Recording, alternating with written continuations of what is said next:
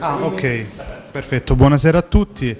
Eh, stasera, parte, stasera eh, prende, mm, entriamo nel merito, entriamo nel vivo del nostro ciclo di seminari eh, promossi dalla Regione Puglia, eh, Laboratori dal Basso e eh, a Mesagne, dalle Cambiente Mesagne, eh, con il GAL Terra dei Messapi e il Lab Creation, con diciamo, il patrocinio anche della Camera di Commercio e, di Torre, e del Consorzio di Gestione Torre Quaceto. Stasera parliamo di agricoltura e nello specifico abbiamo voluto chiamare il nostro incontro l'agricoltura del futuro tra maggiore competitività e sostenibilità.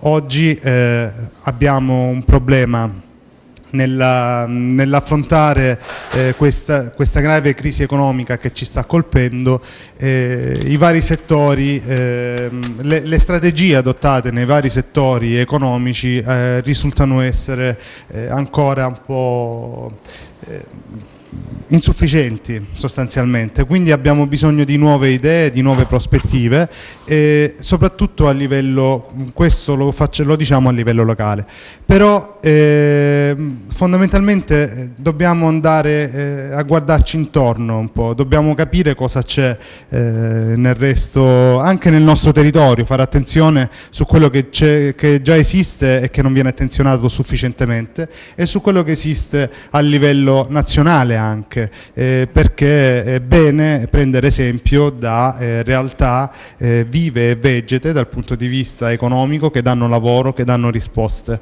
Quindi oggi vogliamo parlare di agricoltura insieme eh, ad Alessandro Leo che è il presidente di Libera Terra Puglia ed a Lucio Cavazzoni che è il presidente di Alcenero e Milizia eh, la prima un'azienda eh, locale, pugliese, tutta pugliese, eh, che eh, diciamo, dà un sacco di lavoro a molte persone, produce dei prodotti di elevatissima qualità, e la seconda un'azienda del, del, dell'Emilia Romagna, un'azienda che dà lavoro a migliaia di persone in questo caso, che produce ricchezza e che produce diciamo, soprattutto entrambe le aziende lo fanno eh, rispettando l'ambiente, che è una cosa, eh, la cosa per cui noi ci, ci, spendiamo particolarmente. Quindi io non, eh, non, prendo, non vado oltre, lascio subito la parola ad Alessandro Leo, al Presidente Leo, che ci esporrà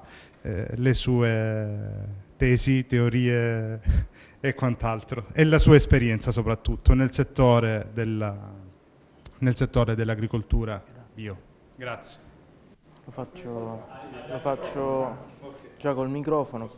Oddio, più, che, più, che, tesi e teorie, eh, al massimo ipotesi, eh, impressioni che mm, magari mi sento anche di condividere, visto insomma, che mh, mm, eh, qualcosa anche fuori dalla prima insomma, di questo intervento, di questi interventi è, è emersa. Mi sembra eh, che alcune riflessioni siano anche corrette. Io mh, mm, mi limiterò, eh, essendo anche del territorio molto più facilmente raggiungibile, anzi coinvolgibile, eh, mi, mi limiterò ad alcune riflessioni e a raccontare anche una storia che è quella del sistema, eh, del progetto Libera Terra, che può essere anche eh, come dire, adottato, spesso viene adottato come modello e come sistema in uh, diversi territori del mezzogiorno d'Italia e non solo, ultimamente non solo, eh, che parte da un, realtà molto particolari, dal riutilizzo dei beni confiscati, ma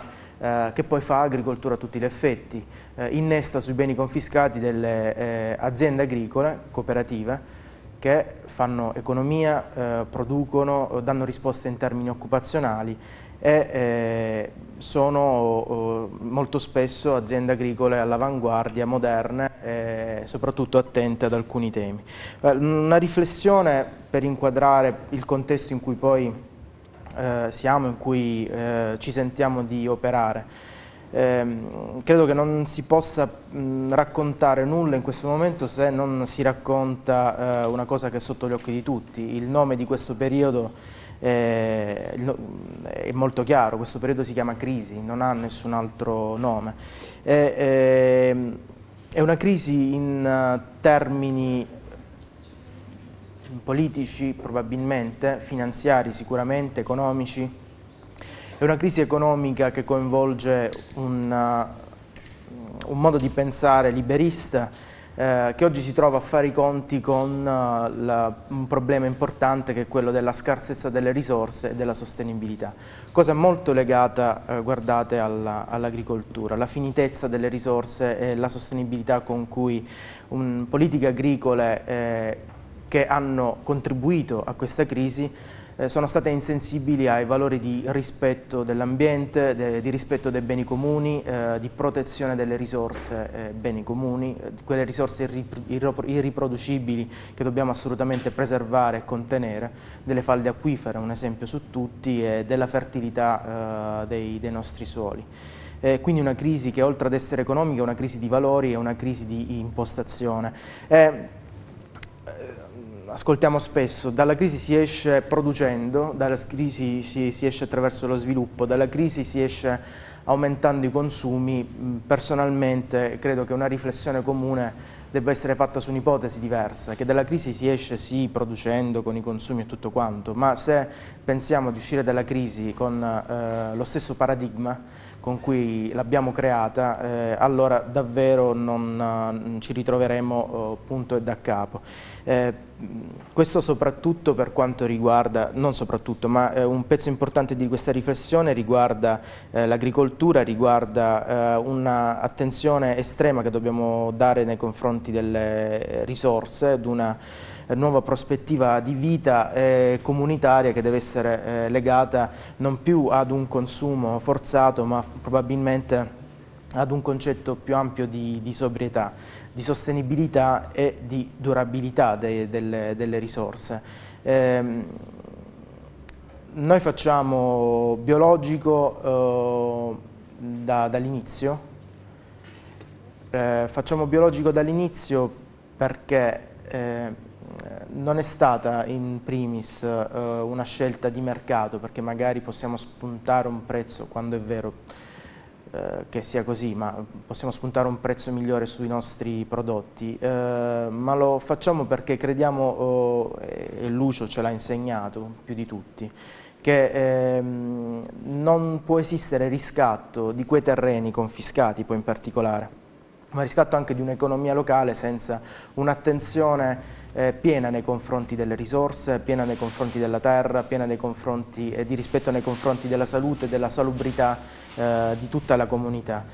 Ehm, pensiamo allora che per uscire da, dalla crisi probabilmente ehm, e anche per rilanciare un nuovo tipo di economia probabilmente bisogna rilanciare, lanciare un nuovo tipo di paradigma torniamo sì allo sviluppo, torniamo sì alla, ai consumi, però facciamolo con un nuovo modo di vedere le cose, una nuova attenzione nei confronti dell'ecosistema, dell'ambiente, della sostenibilità delle produzioni, eh, della salubrità dei cibi e chiaramente delle comunità e dei territori. Un nuovo paradigma che si basa sicuramente sull'attenzione allo spreco, siamo, eh, statistiche dicono che ehm, eh, in questo momento siamo circa eh, 7 miliardi e produciamo per eh, 12 miliardi di persone, c'è una differenza del, di circa il 40% della produzione che è un 40% che molto spesso è spreco, peraltro eh, risorse mal distribuite eh, sul, sul pianeta. Quindi attenzione allo spreco, sviluppo e consumo sì, ma ridistribuzione delle risorse una forte attenzione all'energia che si eh, impiega in agricoltura, le energie rinnovabili, trovando un'armonia fra ehm, agricoltura e spreco o impiego di energia.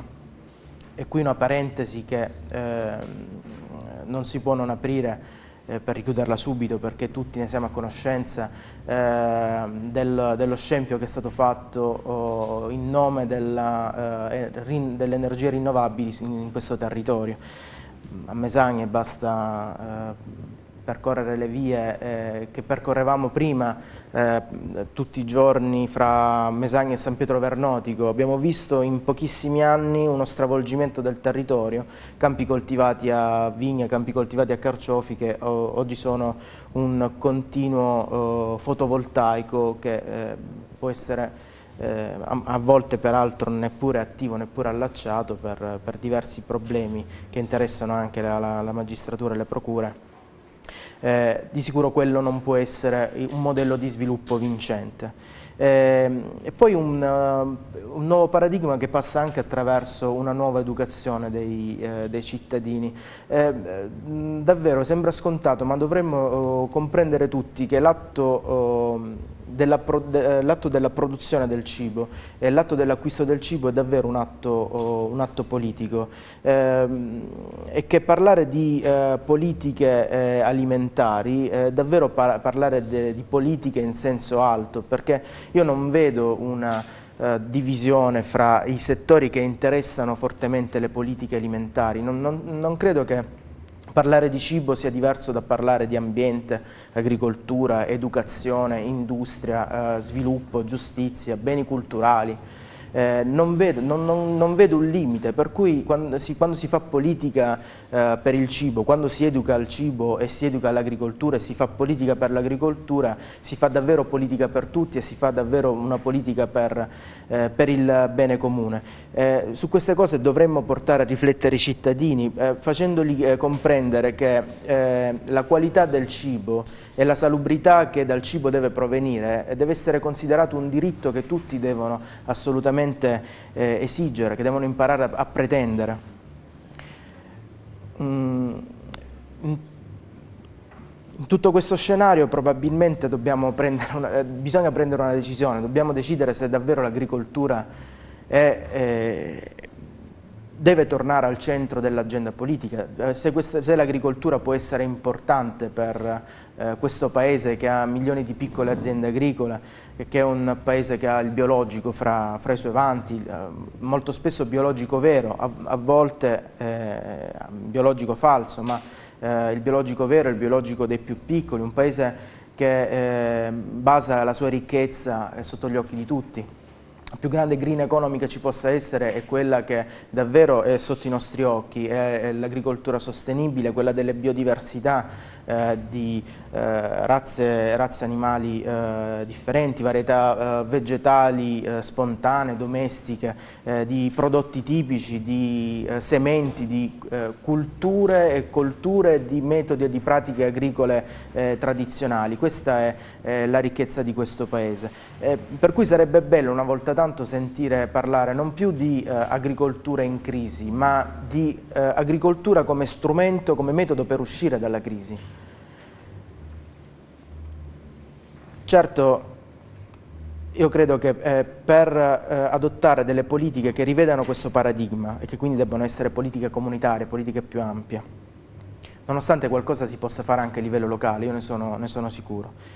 Ehm, per attuare delle politiche che incentivino anche, eh, che preferiscano magari eh, la piccola scala, il piccolo agricoltore, eh, che ehm, molto spesso è quello che è più attento ai giardini del territorio, eh, intendendo per giardini quelle campagne curate, eh, anche eh, perdendoci dei soldi a, volte. Ehm, tornare a fare attenzione eh, su queste piccole realtà che hanno un'aderenza più stretta con il territorio e non invece privilegiando eh, o comunque mettendo alla pari grandi industrie eh, agroalimentari che eh, guardano l'agricoltura come eh, modalità intensiva di sfruttare la terra, che non guardano alla eh, terra come eh, essere vivente, che eh, intendono la terra come commodity, ecco, qualcosa di, di, di, scontato o come una grande catena di montaggio. Beh, ehm, per far questo sicuramente ci vuole una scelta politica molto, molto forte sulla sostenibilità e sulla durabilità dei nostri beni. Io ritengo che però ci vuole un altro ingrediente importante, eh, se, ne, se, ne, ragionava prima. Credo che ci sia bisogno eh, di far ritornare l'agricoltura, la, eh, quel mestiere ehm, socialmente eh, non solo accettato ma socialmente qualificante, eh, economicamente qualificante. Eh, L'agricoltura come eh, quel settore di cui eh, non più vergognarsi, ecco. Eh, l'epoca del vai a zappare la terra se non studi, ecco, credo sia finita da un pezzo. se facciamo caso ad alcuni elementi, se facciamo caso al fatto che eh, ci sono storie molto spesso non raccontate di eh, una nuova generazione che vuole fare agricoltura. Ecco, e questo è il punto, cercare di far diventare queste cose realtà con l'innesto di nuove energie eh, che, che, non possono che provenire da, eh, dai giovani. Ehm, ed è un fatto conclamato il, il, eh, il fatto che l'agricoltura sia, eh, ormai abbia, abbia, le rughe, ormai le mani dell'agricoltura siano, siano vecchie. E da un agricoltore, lo vediamo qui sui territori, da un agricoltore che ormai ha un'esperienza pregressa, molto radicata, ha dei metodi culturali molto... Eh, che guardano molto al passato, eh, ha anche eh, un livello di disillusione e sconforto che ormai eh, supera qualsiasi tipo di entusiasmo, beh, da, da, questo, da questi agricoltori ci possiamo aspettare poco in termini di spinta verso il futuro. Allora, eh, se pensiamo che la disoccupazione giovanile oggi credo che sia al 36-37% e che contemporaneamente l'agricoltura è il... Um, è il settore che è, è, è, forse uno fra più trainanti dal punto di vista eh, della ricerca del, di occupazione, si parla di una crescita del, eh, del 6-7%, arriverà anche a due cifre e il 4% è l'aumento delle nuove eh, imprese agricole giovanili. Beh allora sembrerebbe quasi eh, scontato una, un 2 più 2 il fatto che c'è occupazione, c'è richiesta di occupazione in quel settore e giovani disoccupati possono o anche eh, non soltanto giovani disoccupati possono reinventarsi o inventarsi eh, agricoltori. Purtroppo non è così perché eh, ed è questo credo che eh, questa credo che debba essere una richiesta forte alla politica eh, per via di un retaggio culturale molto forte rispetto al mestiere agricolo eh, per via eh, di, un, uh, di, un, retaggio culturale che è sostenuto da condizioni economiche assolutamente eh, sfavorevoli, non ci sono veri e propri incentivi all'ingresso di giovani eh, agricoltori, eh, in, di giovani nell'ambito dell'agricoltura, non ci sono veri e propri strumenti o veri e propri piani, cosa che per esempio viene fatta negli Stati Uniti, viene fatta in Francia, viene fatta in Giappone eh, con incentivi che portano alla uh, nascita di nuove realtà agricole su dei terreni. E, eh, se la difficoltà può essere quella eh, non credo che sia però una grande difficoltà in questo momento di abbandono dei terreni, quella di trovare eh, dei, dei, terreni da coltivare, eh, forse la difficoltà più grande è poi eh, il non avere una, una direzione eh, ed un'agevolazione un dal punto di vista eh, degli iter burocratici, eh, di tutti i regolamenti che sono, vi assicuro, oh, molti di voi lo sapranno, assolutamente stringenti, nel, fatto sta che in agricoltura si vive una vera e propria anarchia cui, eh, che molto spesso va, va, a svantaggio o pesa soltanto sulle spalle eh, dei lavoratori, dei braccianti eh, dell'ultimo dell anello della catena. E quindi dicevo che non c'è eh, un tipo di approccio tale da poter far percepire l'agricoltura come un, davvero un nuovo sbocco di occupazione. E, ehm, credo che le cose siano assolutamente eh, collegate a fronte di una crisi, a fronte di nuove strategie per affrontarla, a fronte della necessità di una eh, nuova attenzione verso la sostenibilità e la durabilità delle risorse ehm, sciupate dalla, dalla, crisi e dall'attuale dall vecchio modello di sviluppo, eh, nuove energie per cambiare lo stato di cose non possono che venire dalla, da una nuova generazione.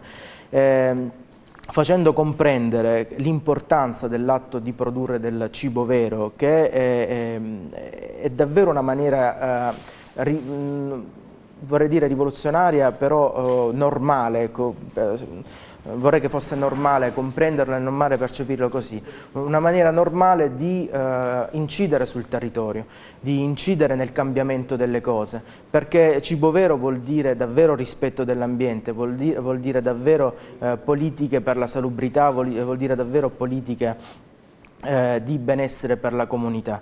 Per cui la dignità di eh, produrre cibo è la dignità che credo molti giovani stanno riscoprendo in tante piccole realtà, scommettendoci. Bisogna essere un po' sfrontati perché in questo periodo eh, lanciarsi in un sogno o sognare sembra essere una cosa da, da, da, da folli o da, o dementi, eh, però ci sono molti casi di successo e in, in, molti casi ci si riesce. È in questo contesto che eh, nasce anche l'idea agricola eh, di, di, Libera Terra, in cui la, il protagonismo giovanile, eh, più giovani di me, ce ne sono diversi, è, è assolutamente un dato conclamato e, e spiccato. E sicuramente parte questa, questa, questo progetto da una esigenza che forse eh, può sembrare estranea a quella della, della pura agricoltura, del, del, puro fare impresa agricola, eh, viene dalla necessità di restituire, um, di recuperare alla comunità, alla collettività dei terreni che sono stati confiscati alle mafie. Eh, il progetto nasce subito dopo eh, l'approvazione di una legge di iniziativa popolare proposta nel 95 e 96, la raccolta di firme avvenne in quegli anni dall'Associazione Libera con cui si chiedeva sostanzialmente di eh, ritoccare la legge Pio La Torre del 1982 eh, introducendo la possibilità di prendere dei beni confiscati e farli diventare occasione di lavoro, di sviluppo, occasione di socialità, occasione di democrazia di giustizia sui, sui territori. La eh, legge fu spinta da oltre un milione di firme, nel 1996 nacque, eh, fu varata finalmente eh, il 7 marzo di quell'anno, la numero 109, e grazie a questa legge è stato possibile scrivere anche una nuova pagina dell'antimafia dell sociale. Eh, è stato possibile insomma, riportare alla comunità ciò che prima alla comunità sembrava assolutamente essere alieno e non appartenere. Eh, prendere in Sicilia ehm, ettari ed ettari latifondi di eh, Totorrina, di Brusca, di Provenzano eh, parlo della Sicilia perché è la prima esperienza, ma poi l'esperienza si è eh, trasformata in un vero e proprio modello che eh, si è innestata in Calabria, in Campania e anche in Puglia. Eh, credo anche, eh, senza credo, anche sicuramente eh, in Piemonte ad esempio. Eh, prendere questi beni e farli diventare qualcosa di totalmente altro, eh, dimostrare che lo Stato vince, beh, questa probabilmente era ehm, l'idea primaria dimostrare che lo Stato esiste, che c'è la possibilità eh, di un riscatto della collettività, che eh, una presenza fisica anche dei cittadini può in qualche maniera limitare il, la presenza delle mafie, ma mh, probabilmente eh, all'inizio non, non eh, era ben chiaro il fatto che eh, si innestava anche un'idea di agricoltura nuova, un'idea di agricoltura sostenibile eh, che eh, avrebbe dato addirittura massimo valore a quell'impegno di, eh, di, riscatto di quei terreni. Perché guardate, la cosa più bella che può venire fuori da quei terreni, da quei vigneti confiscati, qui sul territorio, ehm, per informazione, gestiamo 20 eh, ettari di terreno qui in Contrada Canali, dove tra poco sarà attiva una masseria didattica proprio su questi temi, anche su questi temi.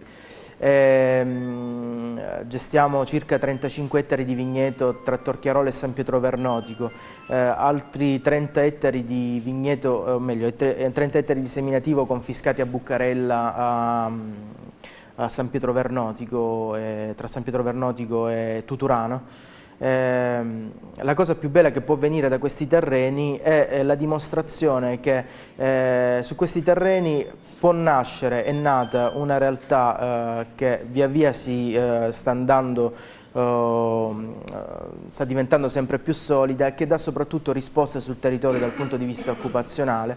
Diverse decine di lavoratori eh, fissi e stagionali ormai lavorano su questi terreni con noi e successivamente dimostrare anche che da quei terreni si può creare, eh, un, su quei terreni si può creare un nuovo modello di sviluppo e di agricoltura moderna, eh, un'agricoltura sostenibile che ha come biologico, nel biologico sicuramente il suo cardine perché eh, davvero oh, liberiamoci dalle mafie ma liberiamoci anche dai veleni di cui si è fatto abuso durante gli anni passati, di cui purtroppo ancora si fa abuso.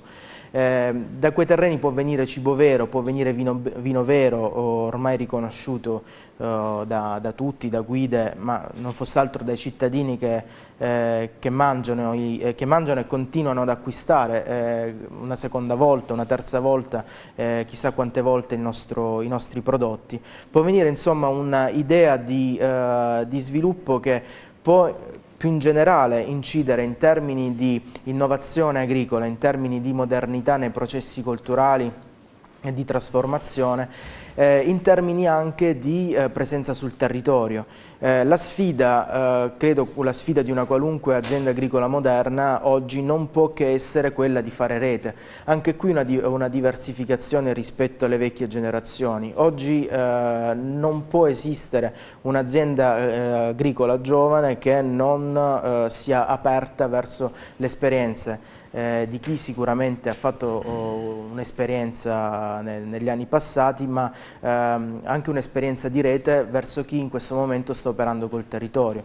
Eh, non parlo soltanto di aziende di trasformazione, di altri agricoltori, cosa assolutamente fondamentale, ma parlo anche di associazioni, di comunità, eh, parlo anche di esperienze non direttamente collegate all'agricoltura eh, e che però eh, possono apportare un contributo di conoscenza eh, e di operatività, anche di operatività, di idee, di iniziative alle, alle aziende agricole.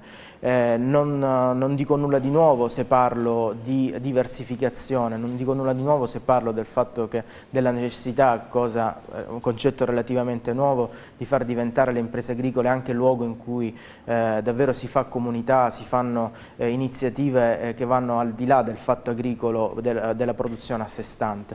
E credo che in questi termini anche eh, di, ehm, di rispo come risposta di finanziamenti qualcosa in, in questi anni si sia, si sia fatta e che molti abbiano colto anche, eh, anche l'opportunità. Ehm, per cui aziende agricole che si aprono al territorio, che si mettono in rete, che utilizzano la rete, eh, che ricercano oh, la tipicità e l'eccellenza della tipicità, eh, pensando che eh, quella non può che essere la, la, quella ricerca e quella biodiversità, quella tipicità non può che essere eh, l'unica ricchezza probabilmente che, eh, che, abbiamo, biodiversità in termini di prodotti ma anche in termini di paesaggio rurale, in termini di eh, possibilità di, di turismo.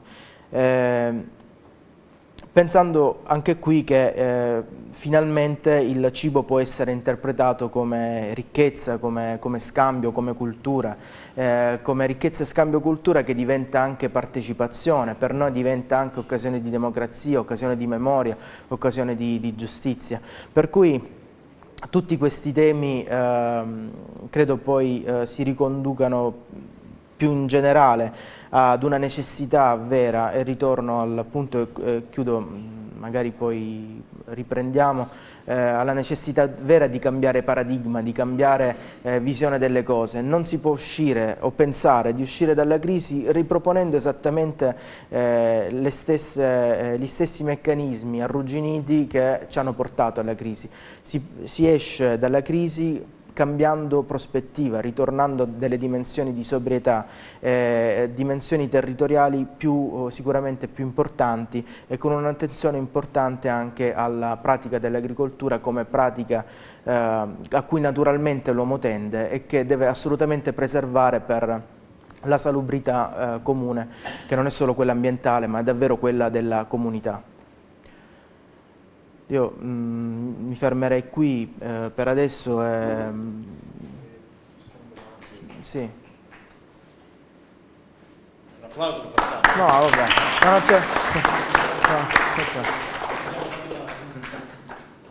Poi nella pratica noi siamo oh, quelli che si alzano, siamo oh, davvero un'azienda agricola che ehm, cerca di affrontare eh, il, il mare eh, magno della, della, vita agricola locale eh, con uno spirito propositivo, eh, diciamo anche, forse anche più sostenuto del dovuto certe volte, ehm, con molto entusiasmo, però ehm, il confronto con le realtà agricole locali eh, è davvero molto, molto, duro e molto stringente.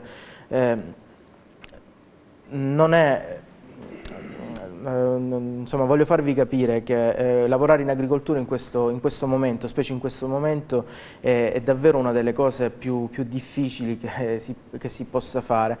Se a monte c'è un'idea di, ehm, eh, di, giustizia sociale che si redistribuisce lungo la filiera, eh, e parlo in particolare, la prima cosa che mi viene in mente è delle condizioni dei lavoratori eh, in agricoltura.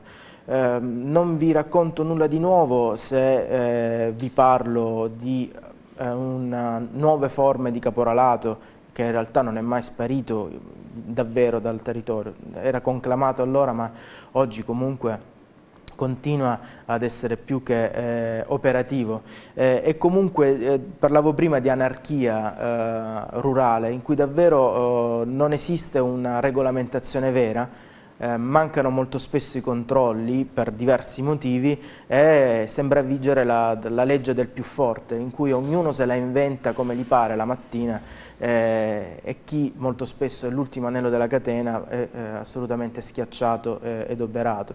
È una situazione che mh, davvero pesa sia sui piccoli imprenditori che sono assolutamente soli ed isolati, molto spesso senza una vera rappresentanza, sia eh, su, sugli, eh, sugli, operai, sui braccianti che eh, eh, sono appunto come ultimo anello della catena quelli che subiscono poi tutto il peso della, eh, della, della filiera. Per cui eh, confrontarsi con queste cose dovrebbe essere oggetto, punto all'ordine del giorno, ma del giorno nel senso proprio di quotidiano eh, perché non si può pensare di parlare di green economy o d'agricoltura eh, senza guardare prima alle condizioni eh, de, degli agricoltori, imprenditori e lavoratori del, del settore. Eh, per cui ecco, la, la, nostra esperienza purtroppo è anche abbastanza mh, amara dal punto di vista del confronto con le condizioni eh, di altre aziende e del confronto con le condizioni di molti, di molti agricoltori. Volevo chiedere, i vostri prodotti li distribuite a livello locale oppure avete canali anche per spostarli in altre zone d'Italia se non, se non diciamo anche all'estero? Ehm, sarebbe più naturale forse eh, pensare eh, ad una distribuzione più locale, in realtà eh, è una cosa a cui stiamo, stiamo cercando di arrivare, in, in, in, cui arriveremo spero nei prossimi, nei prossimi anni. Eh, attraverso l'attivazione di reti di agenti per esempio, mh, cose comunissime eh, per il vino o attraverso l'attivazione eh, anche di, di, partnership di botteghe sul territorio e la creazione di, nostri, di piccoli nostri punti vendita. Eh, in realtà nostro, oh, i nostri canali eh, riguardano più il livello nazionale e mh, per noi anche una, è sicuramente una fortuna ma è anche un piccolo cruccio il fatto che la nostra produzione si sposti soprattutto verso, verso il nord. Vorremmo sicuramente mantenere la, la, eh, le vendite lì, ma vorremmo che fossero prodotti conosciuti e riconosciuti anche per le storie che raccontano eh, sul, sul, territorio. Mi sembra giusto. Grazie. Prego. Qualcuno... No, non mi fa una domanda, solamente sui seminativi cosa coltivate?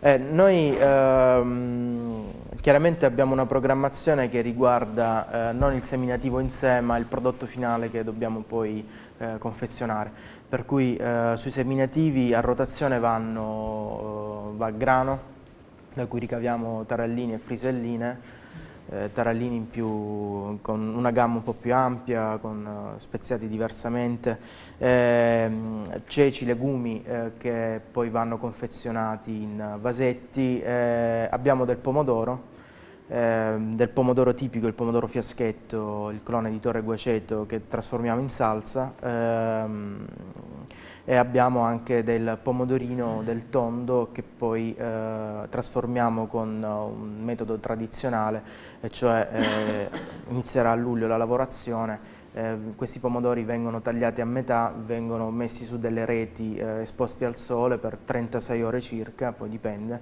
eh, e poi vengono messi sott'olio. Ehm, anche qui la ricerca di una ricetta tradizionale che in realtà è molto mh, elaborata, eh, è soggetta anche a rischi, la pioggia per dire una, eh, una, una cosa fra le altre, eh, però poi ci eh, gratifica con il fatto che il, il prodotto ha un'alta percezione di tipicità eh, ed anche un'alta percezione qualitativa perché il prodotto è straordinario. Non ce lo dicono, magari l'ho assaggiato. Questi seminativi. vendete come prodotto biologico? Biologico, sì assolutamente, Quindi... ed anche i carciofi che però abbiamo provato a fare in bio eh, per problemi tecnici non superabili. Abbiamo, adesso cerchiamo di fare un'agricoltura integrata più sostenibile, però eh, i mm, prodotti, il carciofo bio è una bella sfida, cioè, ci abbiamo provato per un paio d'anni ma è stato davvero difficile. Sì, più che altro con i, con i roditori, ecco questo è il problema perché vedo lì che forse qualcuno ci ha provato. In, in bio è difficile.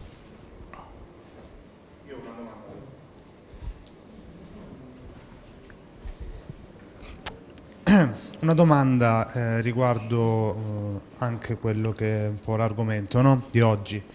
Eh, soluzioni green nel settore dell'agricoltura. Oggi qui noi siamo chiamati eh, a, a rispondere a un grande quesito. Possono queste soluzioni oggi dare risposte lavorative per il nostro territorio soprattutto?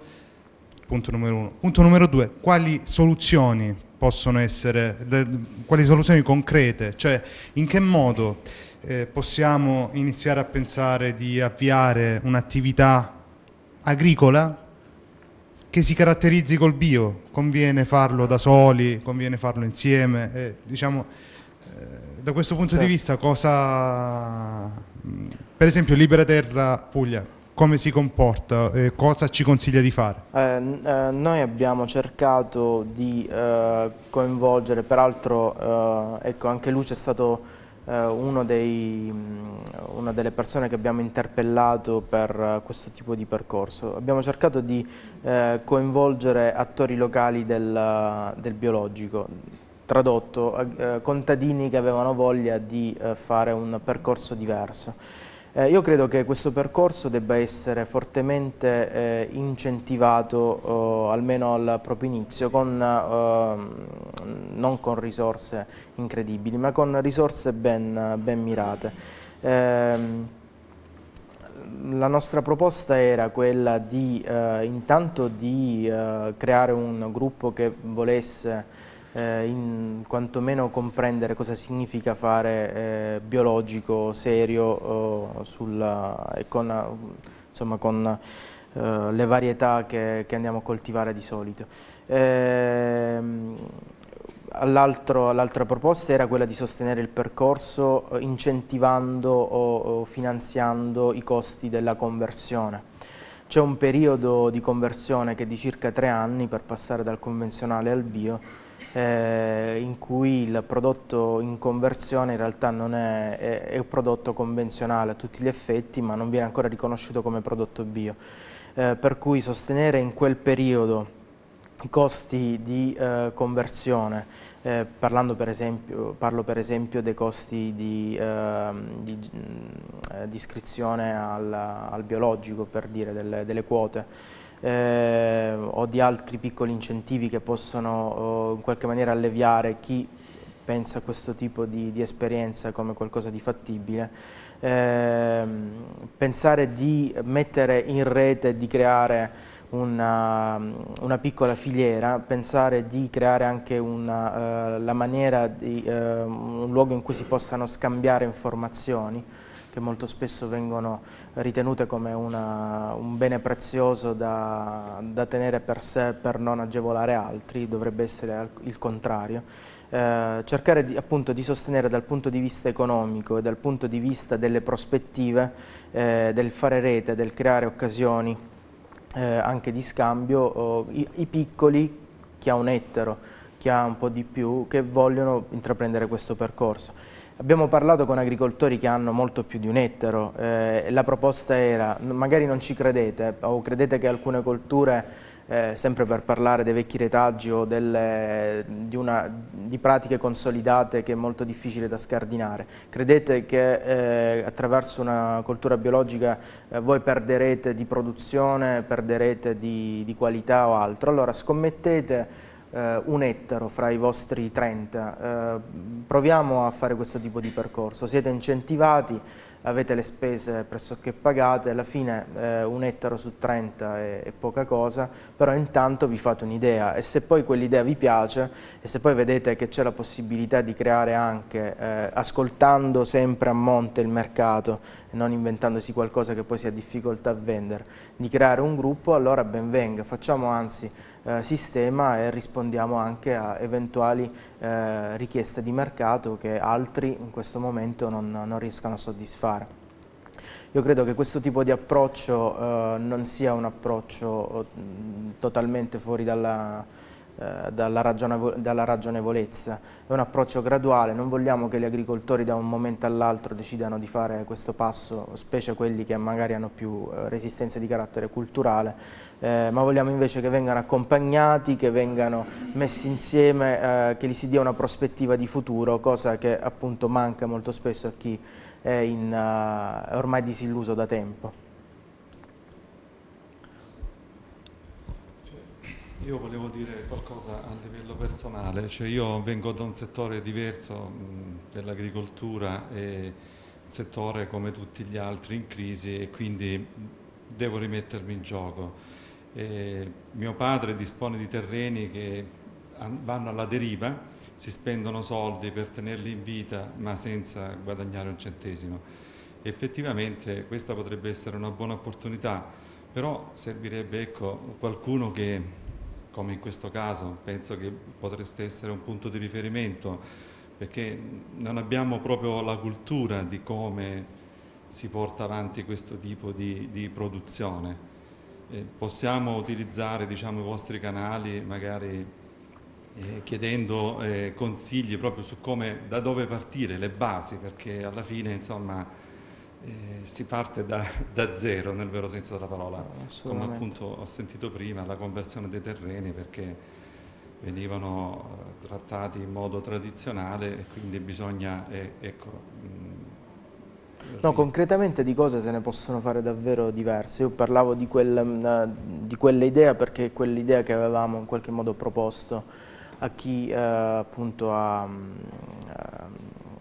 Eh, poteva avere anche un, un certo tipo di uh, ruolo per poter essere sicuramente più credibile di, di uno che magari non, non, si conosce in giro. E, eh, diciamo, parla, parla, per sé a un certo punto. Eh, per cui eh, quel tipo di percorso era un percorso secondo me fattibile che avrebbe potuto dare, che può dare, se lo si ripropone, ripropone un, un frutto sicuramente. Per quanto riguarda la nostra disponibilità, noi non abbiamo assolutamente problemi a, ad incontrarci, a, a ragionare con uh, gli agronomi, a capire di che terreni si tratta, quali possono essere le potenzialità, cosa si può fare anche insieme eventualmente. Eh, stando il fatto che eh, noi non è che promettiamo canali commerciali, noi stiamo comunque attenti a quello che ci si chiede eh, dal punto di vista eh, del mercato e cerchiamo di eh, coniugare, di creare un'armonia fra eh, l'esigenza di qualità, di tipicità, ehm, di, di, di, territorialità con esigenze del mercato che chiaramente hanno altri ritmi e spesso anche altre visioni. Per cui sì, benvenga, noi siamo qui in Vico de Cantelmo di fronte agli scavi, aperti tutti i giorni, per cui volentieri. Poi ci grazie, possiamo... molto interessante, no, grazie.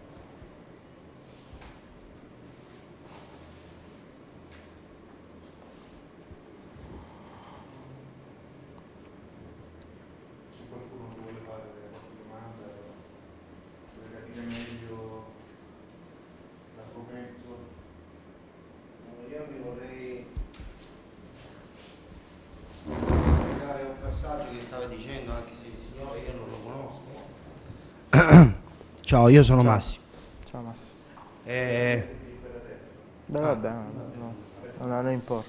eh, perché io sono un giardiniere, eh, ovviamente ne capisco un poco. Però la, la gente è molto, diciamo, delusa perché, insomma, è vero quello che dice lei, perché bisogna attivare un circuito propositivo, eh, però la gente, insomma, è stufa e stenta ad andare avanti, proprio per il fatto che amiamo la terra e quindi facciamo il sacrificio. Poi ha denunciato anche il fatto che siamo ultimi, invece a mio parere dovremmo essere i primi. Certo. Eh, e questo era il qua. insomma. No, no. No, non ho niente da aggiungere. È perfetto così. Speriamo che si, come dire, si incominci, no? Perché la gente insomma è stufa, c'è, gente che ha per esempio tanti alberi di ulivo, io Eh, li immagino. conosco, e non sta producendo più perché eh, ovviamente dice Non, non conviene manco raccogliere certe volte. Sì, ma Secondo me è una cosa che ci deve far riflettere parecchio, perché ovviamente la Puglia per l'agroalimentare è molto conosciuta, insomma, io penso così. però ehm, ehm, non so davvero se si pensa che, parlo di Mesagne, no? che, la- eh, che bisogna aggrapparsi con, con i denti certe volte a, per dire Conservitalia. E davvero mi incavolo, non sono di Mesagne, però mi incavolo perché è possibile che non ci sia un'iniziativa eh, di promozione eh, del territorio diversa, cioè, mh, va bene, eh, anzi per fortuna possiamo dire eh, anche questo, però eh, penso che abbiamo bisogno di, di idee nuove, abbiamo bisogno di altro. Io insomma eh, spero che l'invito a farsi venire qualche idea, che non- alla fine non è che ci dobbiamo inventare niente, alla fine... eh, certo, eh, beh, a cominciare da quello. A fronte di una disperazione credo che debba esserci una risposta. Scusa, io volevo chiederti, eh, tu hai detto che comunque eh, non, non si spende di più, anzi si guadagna di più eh, scegliendo bio, no? Innanzi, ho, ho capito male. Mm, No, non ho Cioè è più questo. dispendioso coltivare... Allora, innanzitutto, scusami, che differenza c'è? Io non, non sono proprio nel ramo dell'agricoltura. No, no, no, Che mm, differenza c'è tra coltivare, diciamo, normale, tra virgolette, e bio? E perché non diventa bio quello normale? Cioè, perché non diventa usuale? Cioè, c'è una motivazione? Eh, perché credo- comunque è più dispendioso, è più Eh, non- difficile? Non, la metterei sul più dispendioso. Mm. Eh, a volte può esserlo, dipende, Eh, non, è, non è detto. Eh, credo che la resistenza, perché non- eh, la- il motivo per cui non si passa al biologico, ehm, almeno la mia percezione diretta, è che innanzitutto c'è la resistenza culturale. Qua, no, eh, ma fa, eh, ma dove devo- che cosa, insomma, qual è il risultato finale? Io ho sempre fatto così eh, per anni, 30 anni, 40 anni della mia vita, non è che da un momento all'altro dico no, domani faccio diversamente. Cioè, ma parliamo solo di pesticidi o altre- anche altre cose? Poi c'è un metodo culturale Cioè, totalmente metodo. diverso, eh, cioè un metodo culturale che eh, gioca molto sulle lavorazioni della terra, che gioca molto eh, su un lavoro di prevenzione di copertura delle, delle piante, eh, cosa che eh, evi- evidentemente non si fa eh, con l'agricoltura tradizionale in cui normalmente si passa il diserbo una o due volte l'anno, eh, si danno gli antigrittogramici una volta ogni tanto e l'agricoltore può fare altro intanto. Però eh, questo poi mette in discussione la eh, sostenibilità, mette in discussione anche la salubrità di quello che, che mangi alla fine. Eh, I costi possono essere anche pari, possono- se gestiti bene possono essere anche pari, i risultati possono essere anche superiori. Noi da, ormai da anni abbiamo eh, a Torchiarolo questi 35 ettari di vigneto, all'inizio siamo arrivati lì e ci prendevano tutti per, eh, per fessi, diciamo così, ehm, per diversi motivi, ma, eh, perché, per diversi motivi, ma in particolare poi perché facevamo il, uh, volevamo fare biologico, cosa che lì eh, poi ne sono arrivati altri dopo, in questi anni sono arrivati altri, però cosa per lì era totalmente innovativo. Che dovete fare? Siete pazzi, ma qua non ricavate niente. Eh, negli anni i nostri vigneti coltivati in bio eh, sono i vigneti che sono messi meglio di tutti gli altri coltivati in convenzionale eh, se volete ci organizziamo, andiamo, vi facciamo anche in questo periodo che c'è un attacco di peronospora su tutto il territorio, i nostri sono i meno colpiti degli altri, perché? Perché, perché eh, si lavora con un certo criterio, con una certa organizzazione, eh, non, non, si fa per caso, c'è un agronomo che tutte le mattine eh, ha, non dorme la notte innanzitutto, è pagato per non dormire.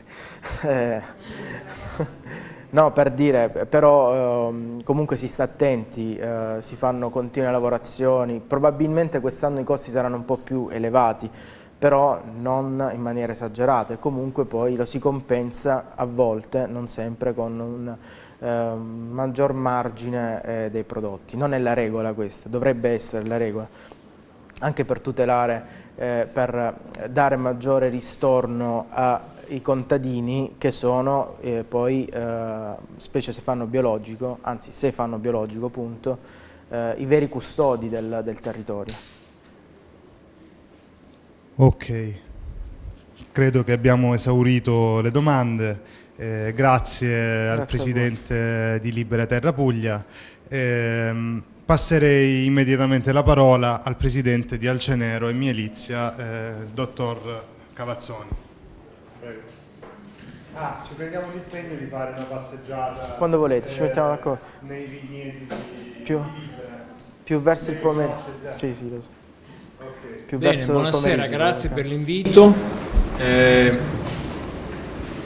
dunque, vorrei cominciare un po' anche da dove finisce Alessandro, ma ehm, vorrei cominciare da fa dai fatti di questi ultimi giorni che riguardano la nostra agricoltura, anche se in particolare entrambi fatti in mano agricoltura, eh, entrambi provengono dal Friuli Venezia Giulia per dare il ben, il ben avvio alla nuova Presidente della Regione, la quale non ha capito nemmeno che cosa, eh, effettivamente che cosa riguarda. Il primo è un fatto molto grave che è accaduto quattro giorni fa, che sta vedendo la vostra associazione, noi, e un altro centinaio di organizzazioni, Slow Food, un altro centinaio di organizzazioni nazionali molto attive in questi giorni perché alcuni agricoltori hanno cominciato, contrariamente alle normative che abbiamo nel nostro paese, a seminare OGM, informando che seminavano OGM, l'avrete letto sui giornali, credo.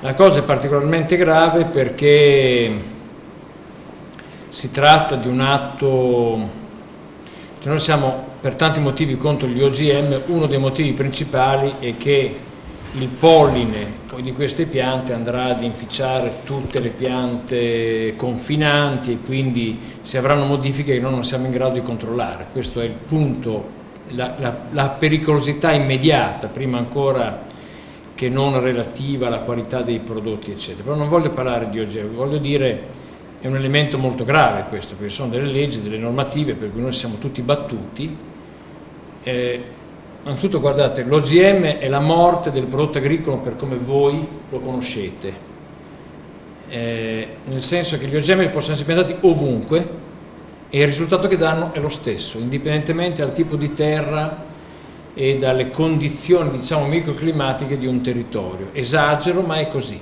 Cioè il prodotto che ne risulta, il prodotto che ne viene fuori è indipendente dalle condizioni climatiche che fanno la storia di un perché c'è la differenza fra un pomodoro fatto qua e uno fatto nel rovigotto dai nostri soci.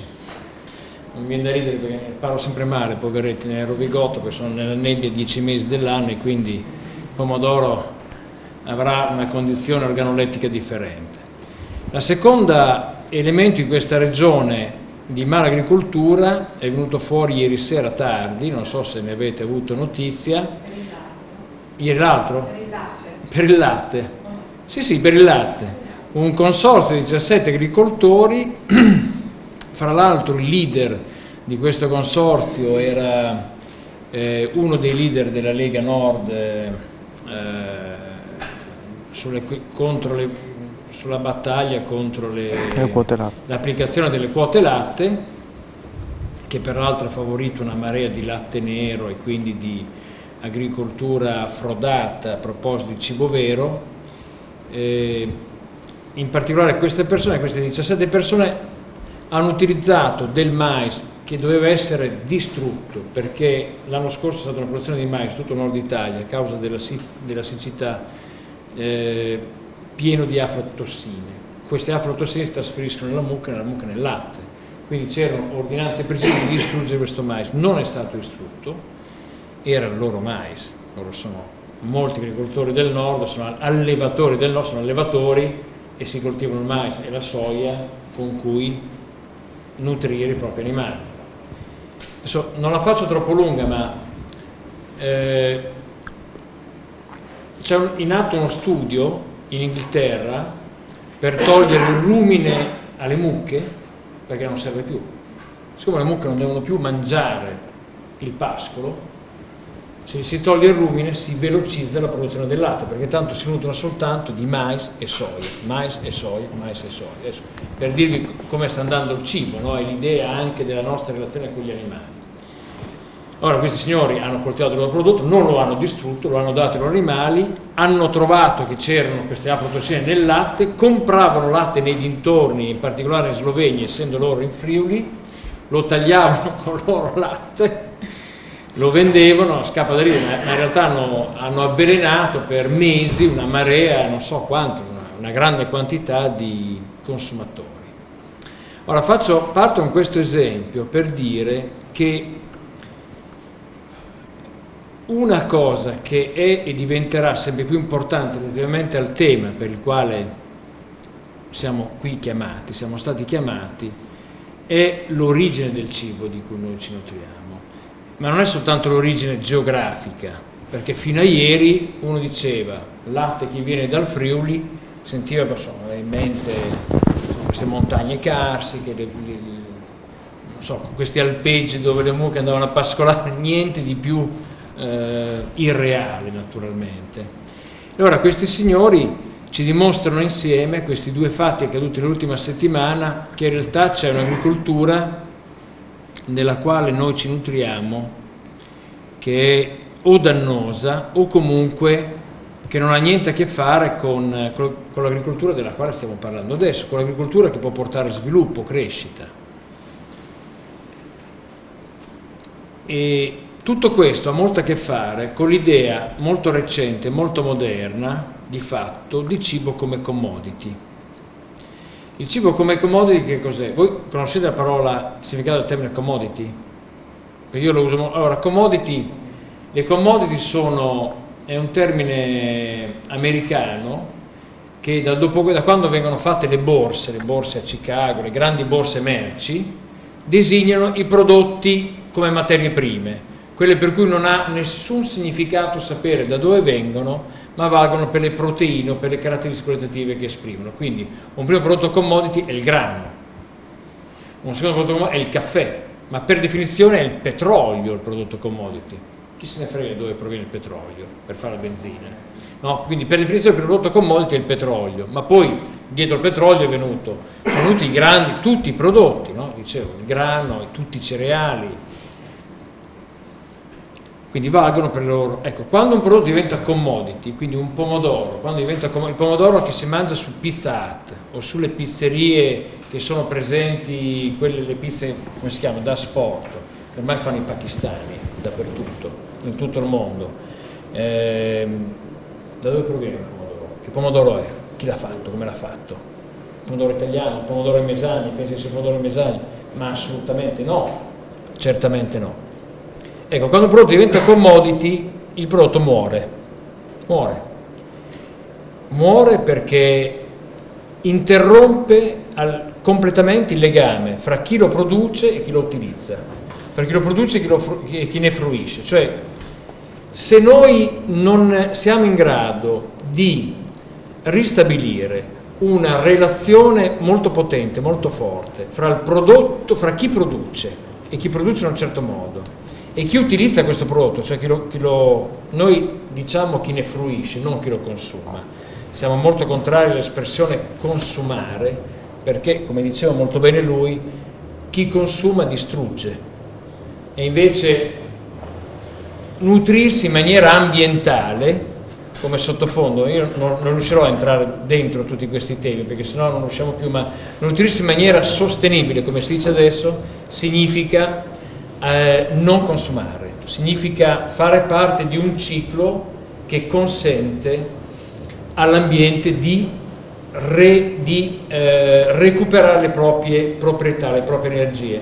Vorrei dire una cosa alla signora che ha fatto la domanda prima sull'agricoltura biologica Lega Ambiente sta uscendo, sta uscendo con un uh, volume molto importante sulla Terra. Su questo volume ci sono delle immagini, uscirà fra un mese o due, eh, ci sono immagini molto significative sulla aridità e infertilità della terra del nostro paese, sono impressionanti.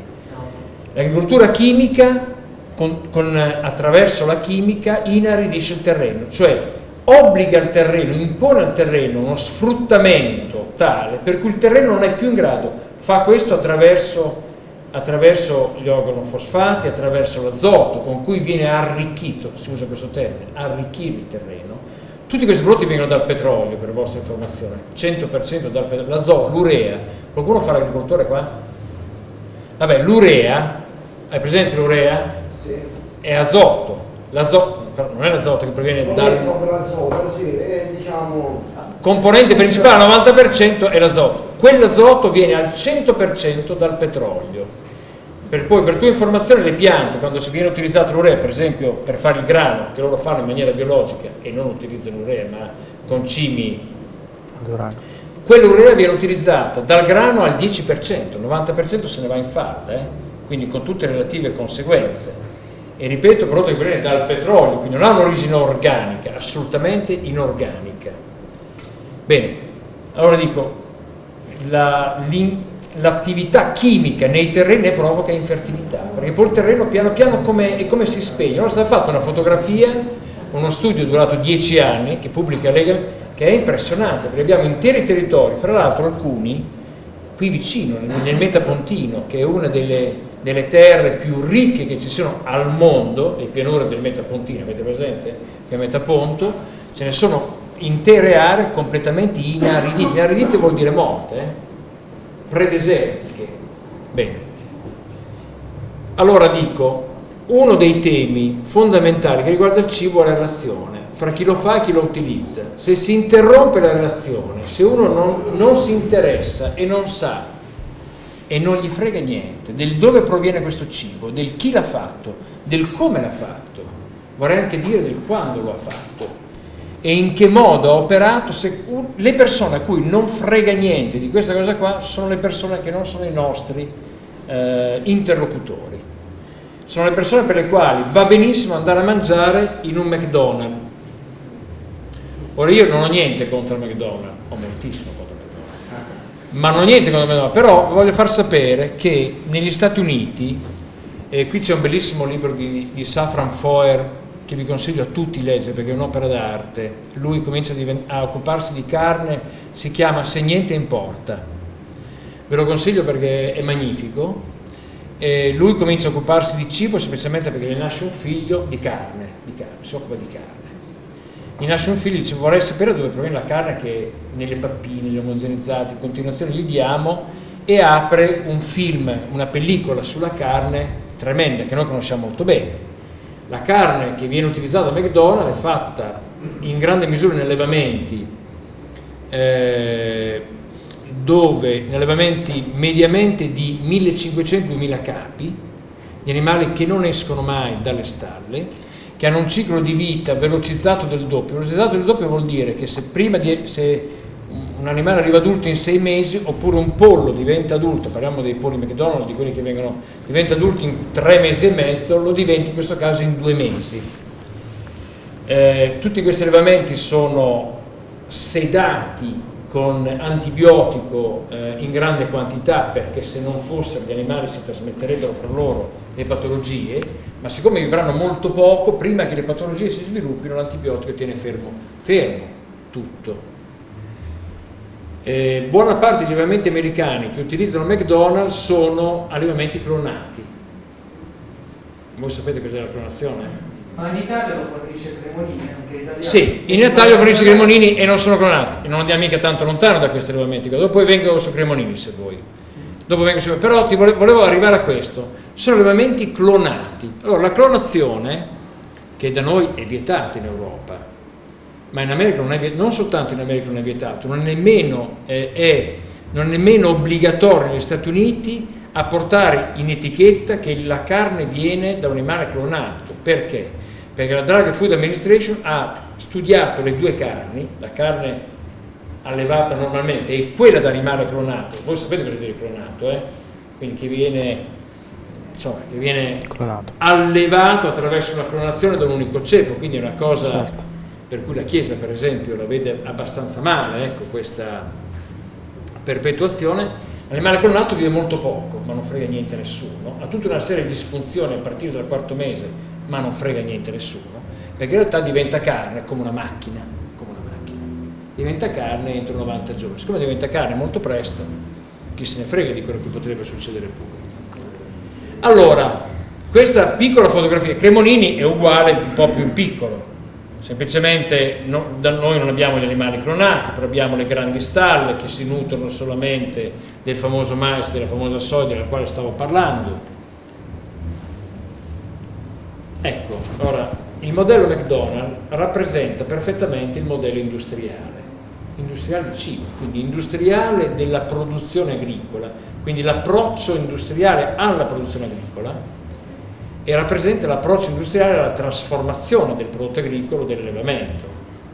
Che cosa vuol dire eh, approccio industriale alla produzione agricola? Vuol dire che io non lavoro i 5.000, chi è che mi parla di 5.000 metri di terra, di mezzo ettaro di terra, non è questo il- la quantità che lavora l'agricoltore, ma ci sono appezzamenti di terra monocultura, ecco la monocultura fa parte, sapete cosa vuol dire monocultura, no?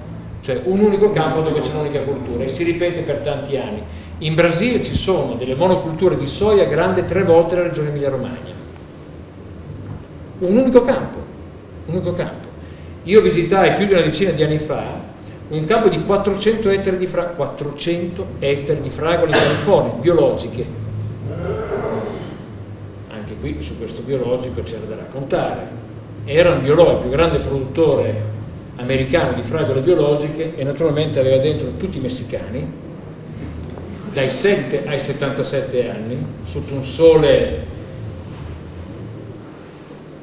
analogo al vostro in agosto, pieno campo. Siccome io conosco meglio lo spagnolo dell'inglese, mi sono messo a parlare con loro e guadagnavano un terzo della tariffa obbligatoria oraria. E qui sul biologico ci sarebbe da raccontare un po', no? Da dove proviene questo biologico? Ecco, allora abbiamo una coltivazione, una modalità, un approccio industriale eh, mirato all'agricoltura sempre di più, guardate questo non riguarda il nostro paese ma riguarda eh, grandi fette purtroppo della Cina, del Sud America, del Nord America, cioè delle aree che stanno producendo veramente grandi quantità. Noi siamo grandissimi importatori di soia, importiamo il 90% della soia con cui nutriamo le nostre mucche, il 90% della soia viene importata, il 50% del mais viene importato. Dall'anno scorso noi siamo importatori del 65% di grano per fare la pasta, non siamo importatori, la cosa non deve stupire in questo caso perché noi siamo anche esportatori di una grandissima quantità di pasta. Per fortuna il 15% della pasta che viene mangiata nel mondo viene fatta ancora in Italia, che è una cosa che ci dà onore, credo. Quindi 15% della pasta che si mangia nel mondo, che è in crescita, che si mangia sempre più pasta e sempre meno riso, e va bene che sia così, perché il grano cresce nell'arido, il riso cresce nell'acqua e di acqua ce n'è sempre meno, quindi non va male che sia così, poi la pasta la facciamo noi, va bene. Però, eh, dico, questi sono i livelli della nostra importazione e questo grano, questa soia, questo mais vengono prodotti con, una- con questa modalità industriale. Nella monocultura non è prevista la rotazione. Si sostituisce la rotazione con sempre più concimi. In realtà c'è una rotazione, ma do- ogni 4-5 anni. Lui per fare grano un anno, per tre anni deve fare delle altre culture. Capite questo cosa vuol dire?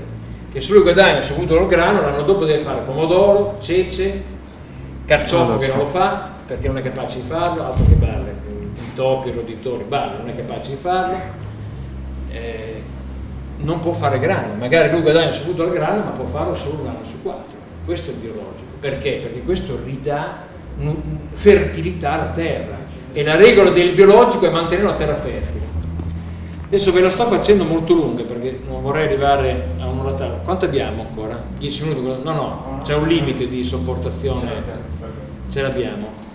Insomma, non voglio farla molto lunga, però per dirvi che a tutta- a- all'agricoltura dominante oggi, l'agricoltura è al cibo dominante, che noi ci siamo abituati come delle scimmie a mangiare, scimmie in uno zoo, no? A mangiare quello che ci viene dato. Scimmie in uno zoo, guardate, perché quando facciamo una spesa normale da Carrefour o da Auchan che voi avete qua o, o in altri supermercati, e il fatto che nessuno di noi sappia effettivamente dove provenga e come si è fatto quel cibo, siamo delle bestie, ci siamo trasformati come delle bestie perché in realtà il cibo è una cosa molto importante, ci sono due cose che noi ingeriamo, che noi mettiamo dentro noi stessi, una sono le parole, vedete che le parole feriscono, oltre che far bene, qualcuno ha presente questo? Le parole sono cose importanti, eh? e poi c'è il cibo, il cibo fa bene o fa male, eh? fa bene o fa male, non è una cosa da poco, ma noi ormai ci siamo tutti disabituati ad avere, una relazione col cibo. Ora faccio tutto questo discorso, poi se volete possiamo approfondirlo in altri momenti, lui eh, molto consapevole di questo, faccio di questo ragionamento. Faccio, dico questo perché quello che noi stiamo cercando di affermare è il suo contrario. Il suo contrario è quello che ci può permettere una possibilità di mestiere, è quello che ci può permettere una possibilità di futuro in agricoltura. Questo quasi più che non il biologico, per noi il biologico è una forma prerequisita di approccio all'agricoltura che non vuol dire scontata, che non vuol dire banale, che non vuol dire facile, vuol dire prerequisita. Noi coltiviamo biologico perché ci interessa, facciamo parte di quelli che stanno dalla parte che all'ambiente vogliono bene e non quelli che lo distruggono. Oh, c'è una differenza non di poco conto, perché chi lo distrugge, chi apparentemente usa chimica a rotta di collo, non se ne accorge lui singolarmente, ma in realtà sta prendendo dalla terra più di quanto la terra non gli possa dare o dagli allevamenti, più di quanto la, questa biologia non gli possa dare, e sta sottraendo e si sta, come dire, impadronendo di un bene che poi diventerà un costo per tutti, eh? cioè l'inquinamento dell'ambiente diventa un costo per tutti. Qualcuno mi diceva poco fa, tu, che grazie alla nuova amministrazione brillante che noi abbiamo qui nel parco, di, nel parco del, di Torre Guaceto, molti volontari stanno raccogliendo, eh, ora tutta la plastica che viene raccolta, tutto, eh, questi sono costi, eh, e sono i costi di un inquinamento. Una terra che diventa arida è una terra che diventa arida per tutti, eh, è una terra di cui noi tutti dovremmo occuparci. Ieri sera arrivando da queste parti sentivo il profumo di quest'aria che noi nei- in- nella pianura padana, scusate, abbiamo completamente perso, completamente perso. Ed ero e gioivo del, del profumo spesso di questa aria. Allora, sto parlando di cose che si stanno perdendo e che poi diventano patologie, no? Non mi posso fare un lungo pistolotto, è un termine bolognese quello di pistolotto, un lungo racconto sui grani, ma eh, anche qui purtroppo ho visto una marea di grani a taglia bassa, alti 40 cm, sono i grani moderni, alti 40-50 cm. I grani alti 40, alti 40-50 cm hanno dei glutini, il loro glutine è indigeribile al 30% della gente, questi sono i dati che stanno venendo fuori. In realtà la non digeribilità di questi grani parla come numero, come numero statistico 6-7%, ma noi sappiamo che già molto oltre una forma di allergia, di difficoltà nella digestione e nell'assimilazione di questi grani. Avete presente tutto il problema dei ciliegi, ma tutti quelli che cominciano ad avere problemi nella digeribilità dei grani? Tutti quelli a taglia bassa hanno questo problema qua, e sono un risultato dell'efficienza produttiva della rivoluzione verde. Ecco, questo è un altro tema molto grande, no? noi dobbiamo recuperare un altro tipo di grani, sono i grani che nutrono veramente, sono quelli che ci hanno nutrito 8, per 8.000 anni. E vale la pena ricordare che il primo faro in Italia si trova in Puglia, questo è il motivo per cui noi qui siamo molto attenti, si trova ad Altamura, il primo farro, tracce di farro, si trova ad Altamura 8.000 anni fa e viene dalla Mesopotamia. Bene, allora te termino per dire che noi abbiamo una eh, grande possibilità, in aggiunta e in completamento a quanto diceva Alessandro poco fa, abbiamo una grande possibilità, A, considerando primo il biologico come prerequisito alla nostra operare, ma soprattutto lavorando sulla relazione. Sulla relazione vuol dire che se io faccio una cosa bene, buona e fatta bene, perché mi sia premiata, mi deve essere riconosciuta come faccio a farmela riconoscere? Ci avete pensato a questo?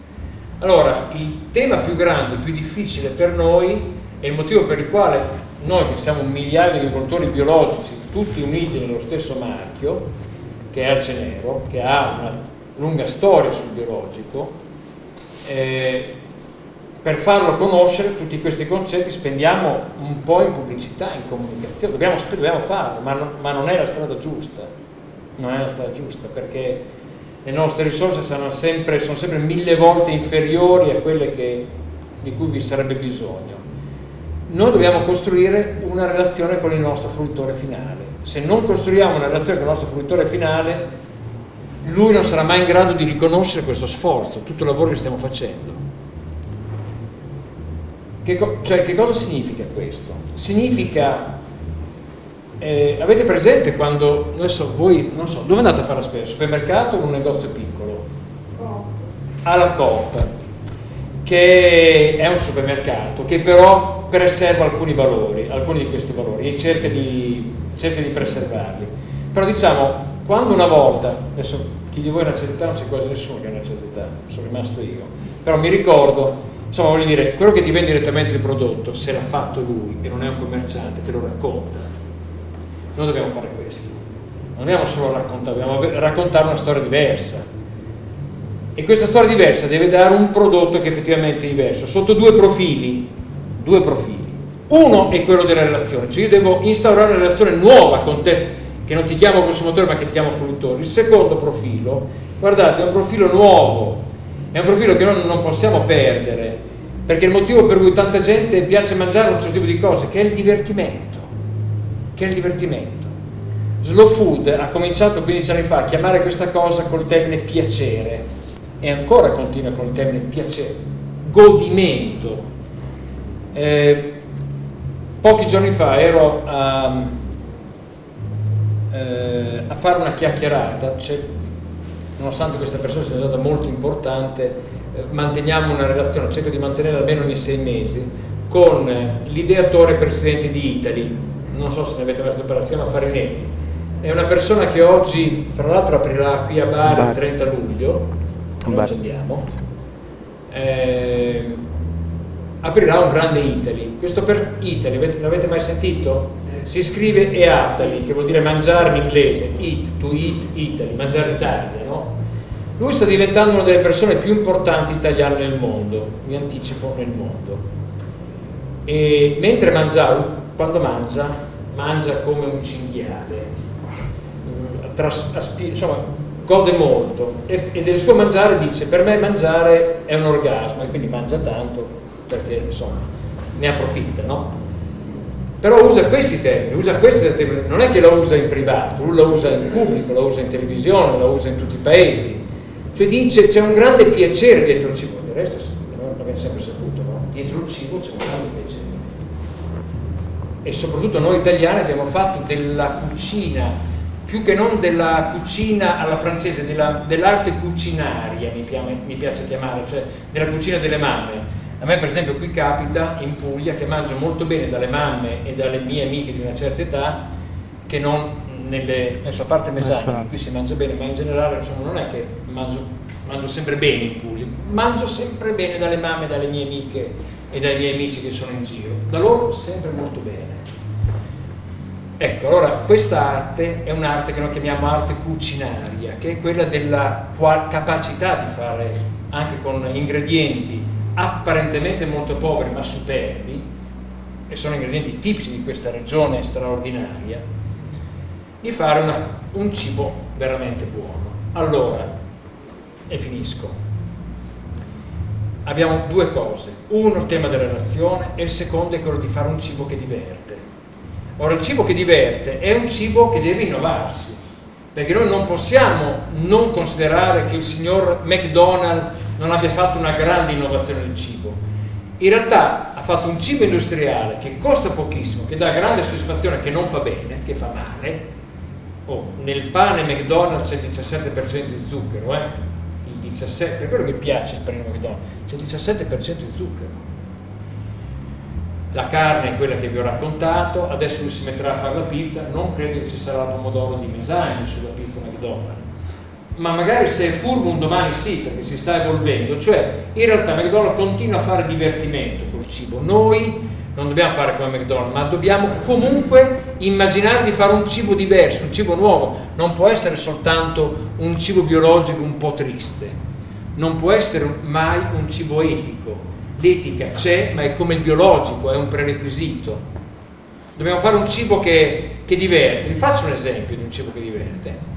Avete presente la birra normale, quella fatta qua a Massafra, nelle birrerie di Massafra, la birra Ah. Peroni, la birra, Ah, sono tutte uguali. Avete guardato gli ingredienti? Tutti per risparmiare hanno cominciato a mettere il grano turco, avete guardato? C'è il mais dentro la birra, non c'è mai stata, è una bestemmia. Guarda- Voi non guardate gli ingredienti dell'etichetta, molto male, questo non è legambiente. Allora, prossima lezione sarà leggere le etichette. Noi stiamo uscendo con tutti i prodotti con delle etichette che si chiamano etichette narranti, sono delle pagine alte così che attacchiamo a tutti i prodotti, dove raccontiamo tutto, tutto, anche, c'è anche il nome e cognome di chi ha fatto il prodotto, eh? La e foto. dove l'ha fatto. La foto. No, la foto la mettiamo in alcuni prodotti, ma adesso su tutti i prodotti stiamo usando delle etichette che si chiamano etichette narranti, che raccontano tutto. Ora, nella birra, adesso metterò anche grano turco per farla costare di meno, no? C'è il luppolo, il malto e l'acqua. Beh, il grande fenomeno di cui siamo sopra- nato in Piemonte, bisogna dargli atto, eh, Piemonte sta è andato avanti molto sul cibo innovativo. Il grande fenomeno di oggi sono le birre artigianali. E ora, bir- c'è un birrificio artigianale, no? fra l'altro voi ne avete uno di gente molto brava che è partita un mese fa con la birra biologica che è gruita a, a Brindisi, lo conoscerete, no? loro sono molto bravi, questo ragazzotto molto bravo, come si chiama? Ancona, Ancona, molto sì. bravo. È un diffondersi di, birre, di birrifici artigianali dappertutto. I due locali più frequentati a Firenze, uno di questi due è un birrificio che si chiama, si chiama Miele di Castagno. Io sono apicoltore di professione, Eh, non lo faccio più ma sono apicoltore, ho fatto 30 anni, lui lo sa. Loro fanno una birra a base di miele di castagno, una cosa inimmaginabile qualche anno fa. Tutte le loro sai, io conosco molto bene il miele di castagno, il miele dell'Appennino fra nell'Appennino tosco emiliano, io vengo da lì, portavo le mie api lì, conosco molto bene, è un miele molto difficile da vendere perché è un miele amaro, questo locale è sempre pieno.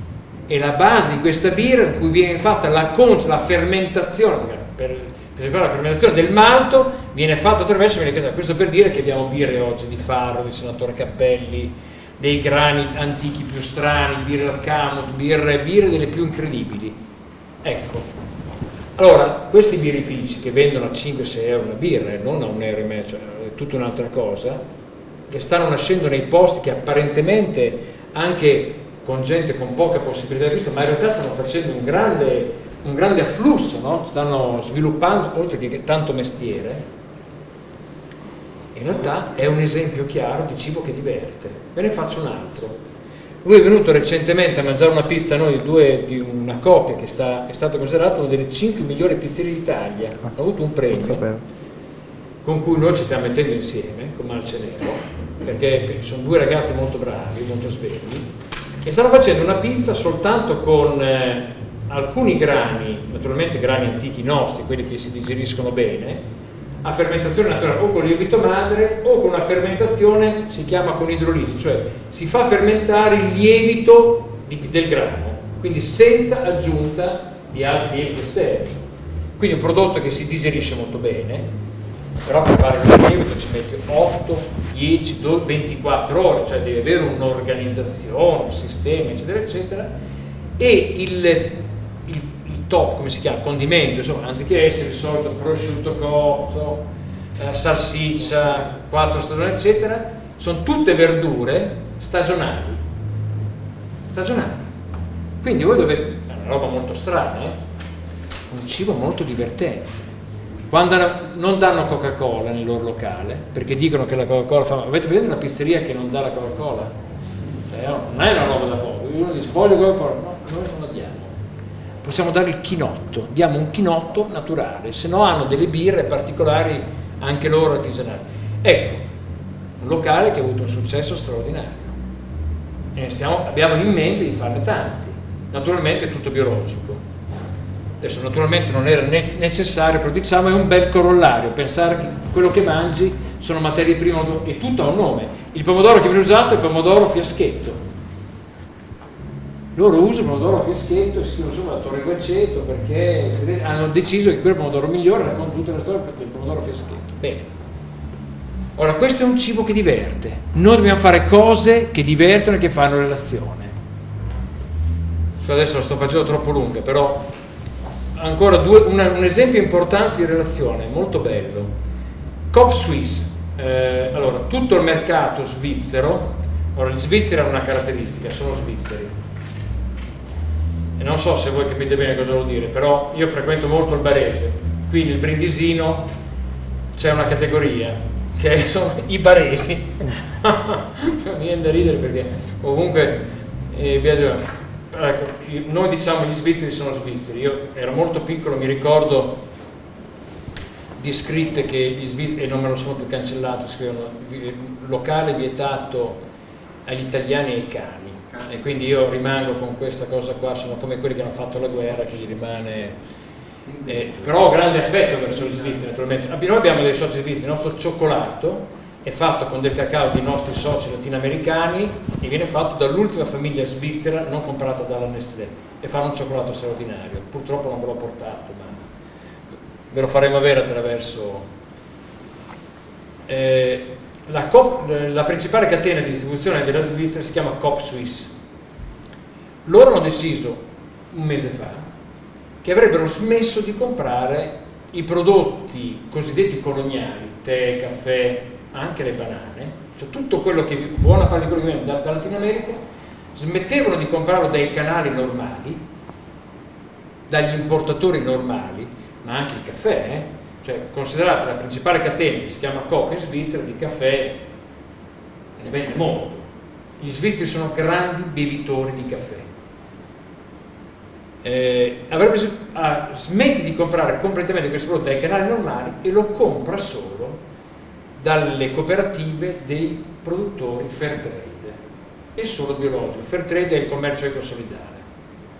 Quindi prende una decisione, dice non voglio più un prodotto anonimo, non voglio più gli importatori, i grandi importatori che hanno sede in Olanda, che hanno sede a Trieste, di caffè, di... Non, voglio, non, voglio, non compro più le banane Cichita, non compro più le banane d'oro. Avete presente? Vuol dire non compro più dalle grandissime multinazionali le banane il tè, il caffè, il cacao, quindi il cioccolato viene fatto con il cacao, lo zucchero di canna. Avete presente quanto zucchero vende un sistema che, che fa il 40% dei consumi svizzera? Lo compro solo dai piccoli produttori perché ritengo di fare meglio nell'economia mondiale. Ecco, quando dico costruire relazione a grande livello dico questo Coop dovrebbe fare questa cosa qua, ma Coop se non insistiamo nel tempo già arriverà a fare questa cosa qua.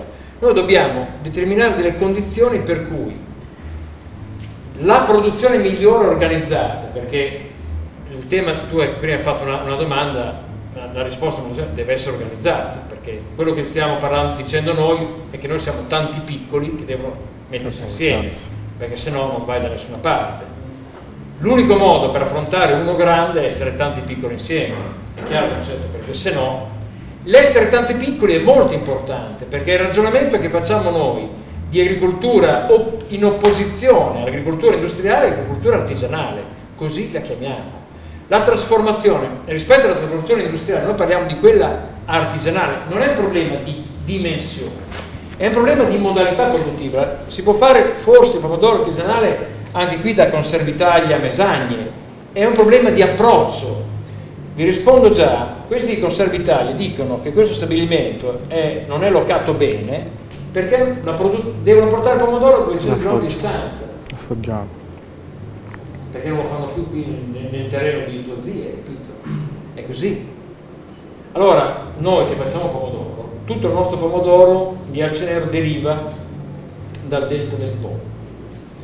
Mi sembra strano, ma lì si fa un pomodoro molto particolare perché la terra è torbata, cioè sabbia, sabbia ricchissima di microelementi, perché era mare fino a un milione di anni fa, non lo so, ma comunque è terra coltivata molto poco perché era palude, è un po' ancora palude.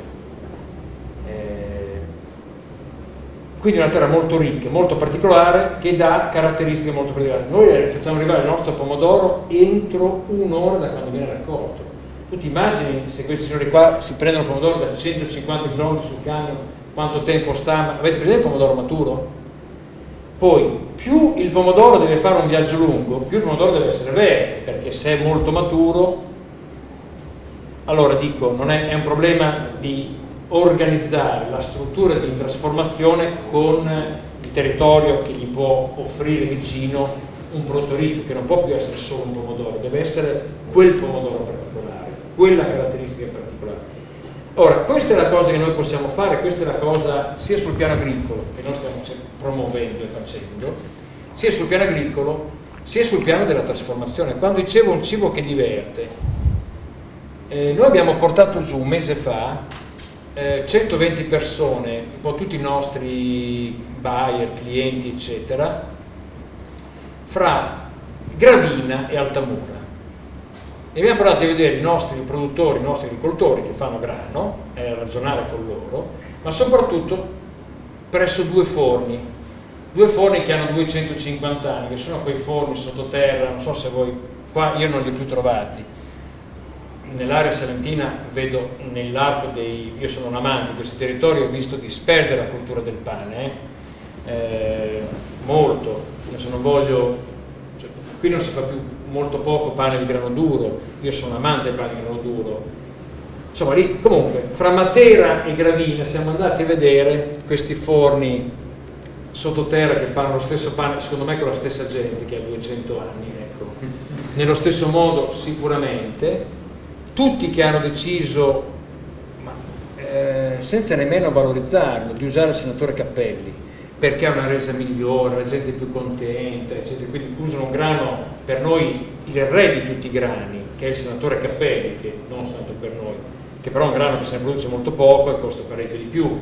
Ma loro lo usano, lo usano come grano normale perché hanno capito che, ecco, tornare a fare il pane, fare i pani al plurale e fare i pani per quel grande significato che ha il pane nella nostra cultura mediterranea beh, non è una cosa straordinaria.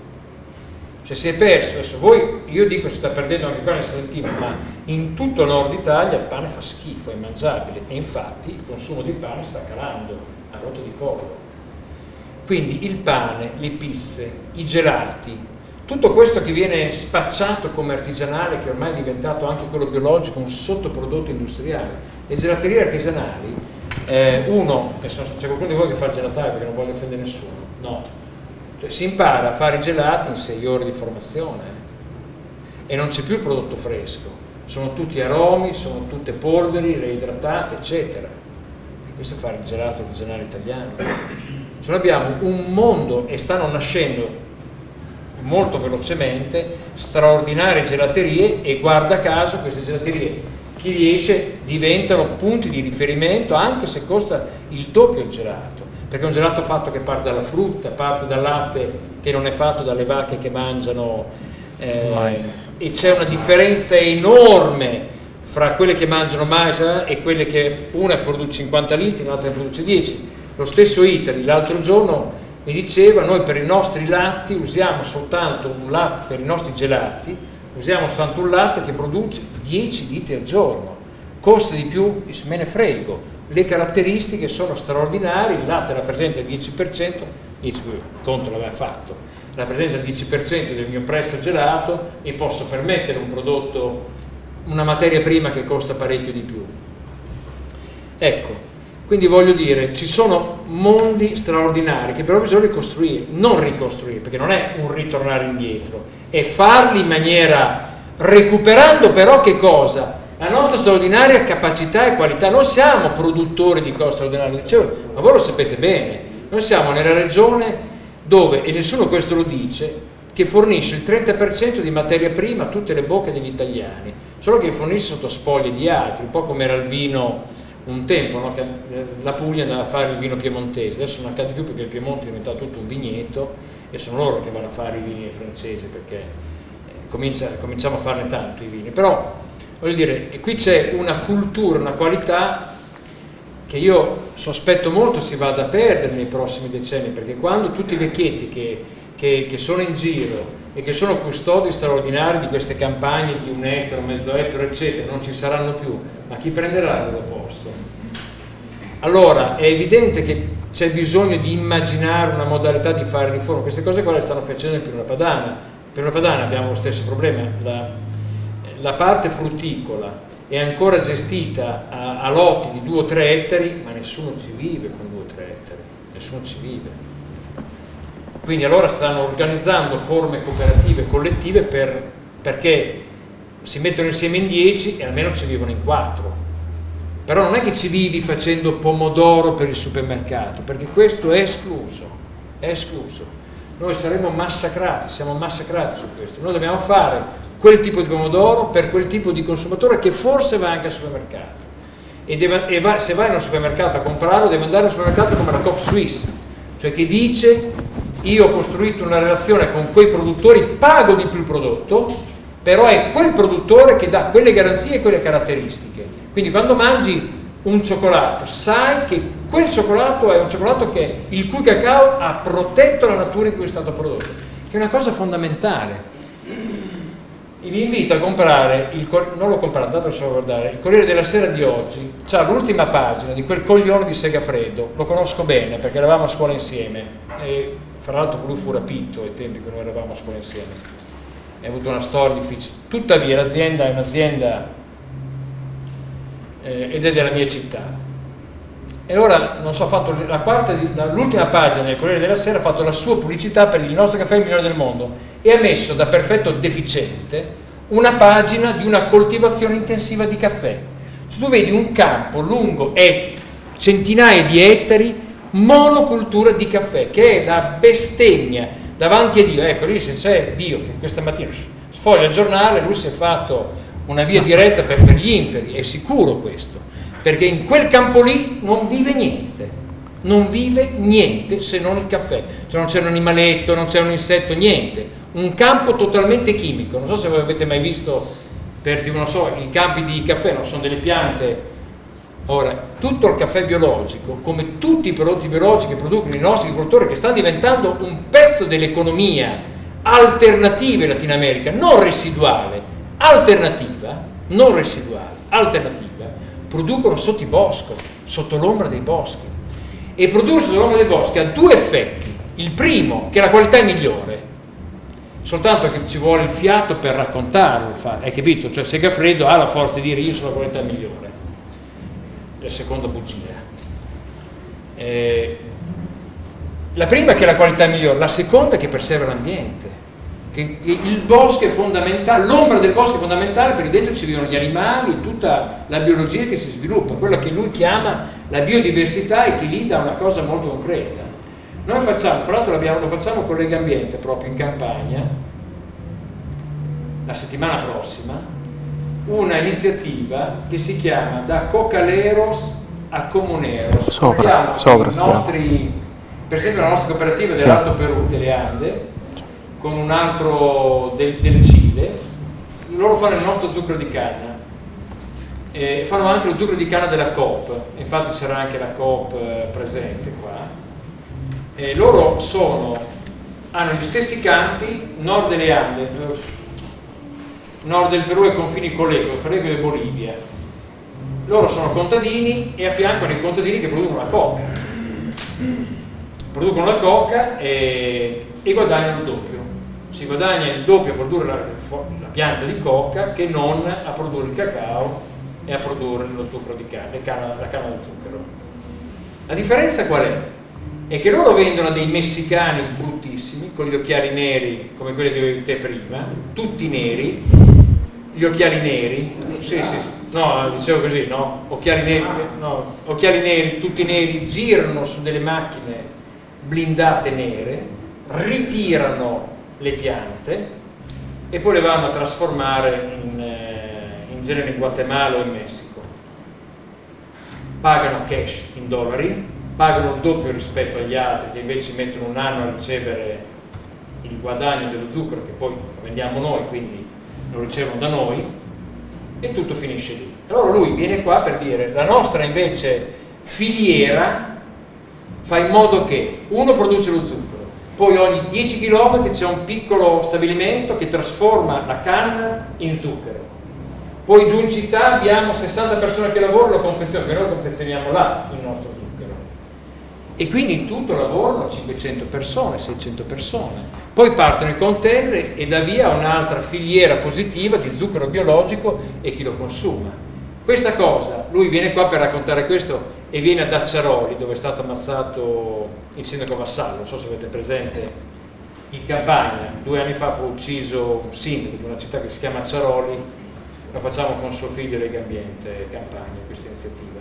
La facciamo lì perché lui viene lì a raccontare che sta convincendo, la sua battaglia è convincere i cocaleros a fare canna da zucchero e fare in modo che i suoi produttori di canna da zucchero non facciano coca e, lo, e, questo motivo, il primo motivo principale della sua battaglia, della sua lotta, è che i messicani portano corruzione dappertutto e violenza, perché lì che si mette sulla strada, anche con una macchina rotta per cambiare la gomma, viene fatto fuori. Cioè loro non guardano, sono, è, è, veramente una situazione da film di Tarantino. Li vedete i film di Tarantino?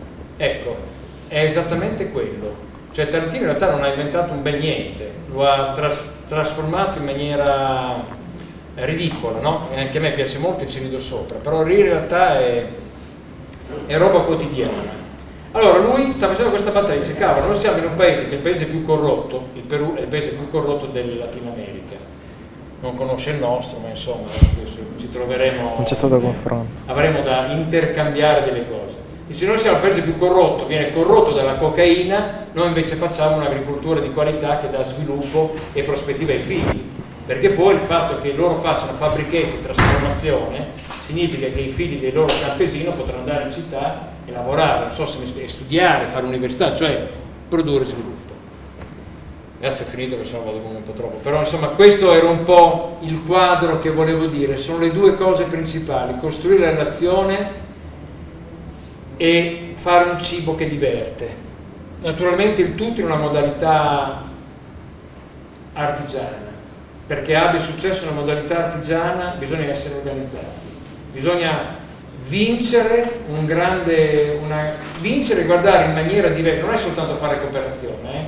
chi riduce tutto questo alla parola solo cooperativa è troppo poco, non è solo questo, non è più solo questo, non sono le vecchie cooperative che facciamo noi, delle due, lui è portatore di un esempio di una nuova forma cooperativa, certo che devi cooperare, devi collaborare e lavorare in maniera diversa, queste sono le chiavi nostre. Certo, io ho finito perché... Allora,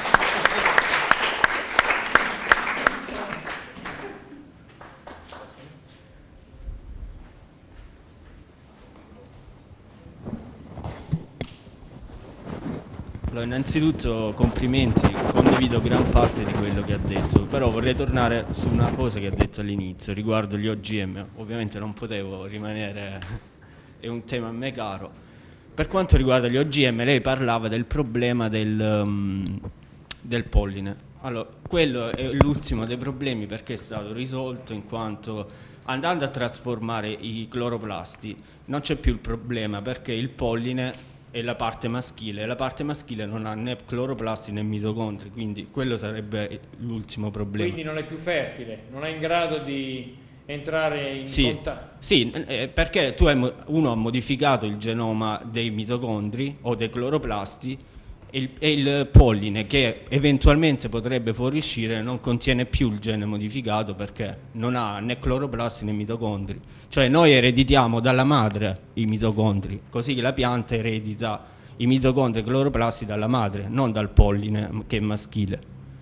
Però secondo me il problema sono le multinazionali che stanno usando la scienza per, eh, per fare ovviamente denaro, perché vendendo poi semi ad alto, ad alto costo, però eh, non dobbiamo dimenticarci che gli OGM noi dovremmo sfruttarli proprio perché sono una risorsa anche per l'agricoltura che fa ad esempio libera. Se ad esempio ora libera investisse in ricerca e eh, i campani, i siciliani usassero i fondi per fare ad esempio il pomodoro eh, con i geni di resistenza alla perenospora. Perché eh, Libera non deve più coltivare quella pianta che gli permetterebbe di eliminare la, eh, la malattia alla radice? Quindi, cioè, pensiamo un po' alle potenzialità anche degli OGM, che ovviamente devono essere eh, testate, le piante. Non dimentichiamoci che le varietà che usiamo oggi sono ottenute dall'uomo, non sono naturali. Cioè, eh, l'uomo le ottiene con gli ultravioletti, con gli agenti mutageni, che sono consentiti dalla legge. Andando per esempio a, a inserire nel genoma delle piante il, um, il gene di resistenza per dire alle perenospore che magari i pomodori antichi avevano. Il genoma di quelle piante non ce l'abbiamo, sono i progenitori selvatici. Quindi io penso che le potenzialità degli OGM non dobbiamo dimenticarle sostanzialmente. E vorrei capire come voi la pensaste su questo. Sono altri casomai così altre considerazioni?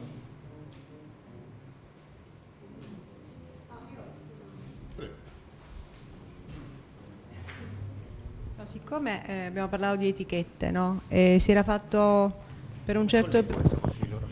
Se no me lo metto io qua, guarda, facciamo prima. Faccio prima così. Per un certo periodo diciamo, si sono fatti passi avanti anche a livello legislativo sulle etichette.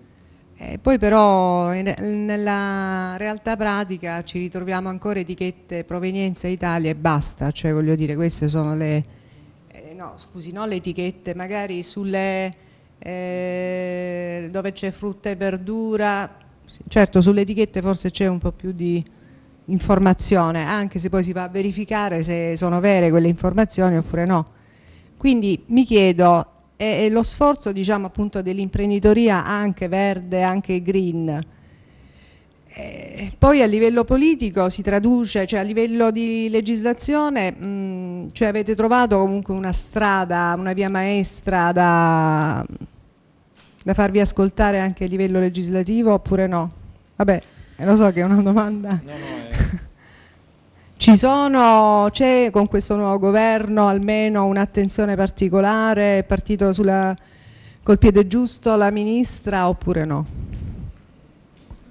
Eh, allora, rispondo prima a lei se non le dispiace. Rispondo prima all'ultimo. Guardi, eh, allora, sul nuovo governo non posso ancora dire nulla, con la nuova ministra non ho ancora idea, devo dire questo però, eh, purtroppo sulla, le grandi normative sono determinate dalla, mm, dalla, dal- dalla insomma, sono determinate dal- dall'approccio diciamo, europeo, approccio, indicazioni, informazioni, direttive eh, europee. Su queste noi siamo sempre perdenti. Avete visto l'ultima questione dell'olio, no? C'è l'olio del brichino. Noi siamo sempre perdenti. Io sono stato per più di dieci anni a Bruxelles a rappresentare gli apicoltori europei e, e la battaglia si vedeva giorno per giorno come noi la, la perdavamo. Cioè, l'industria era molto d'accordo che venissero dati dei soldi all'agricoltura, perché così venivano tacitati i contadini, no? E le loro organizzazioni che non commento. Eh, in realtà noi abbiamo, per- abbiamo cominciato a perdere perché? perché sono interessi potentissimi. Chi è stato più forte a difendere i eh, a difendere i consumatori sono state le associazioni dei consumatori. il fatto che noi non siamo, che, che gli prodotti OGM possano non entrare ancora, non essere coltivati, e venduti, eh, coltivati in Europa è grazie ai consumatori. Il fatto che, il fatto che, che ci siano, eh, che siano riportate in alcune etichette, nel caso del, della carne, ci sia l'obbligatorietà o della frutta, del paese d'origine o del miele, che ottenemmo noi, o sono tre prodotti, eh, frutta, carne e miele, non tutti, dove c'è l'obbligatorietà del paese d'origine, eh, fra l'altro paese, mica tanto, perché nella carne c'è il paese, negli altri c'è l'origine comunitaria o non comunitaria, perché dentro la comunità siamo tutti uguali, quindi eh, sono in questo momento abbastanza ancora pessimista sul fatto che noi possiamo cambiare. Bisogna che noi adottiamo della, delle etichette volontarie che ci sono per me, che sono le etichette dove noi raccontiamo le cose.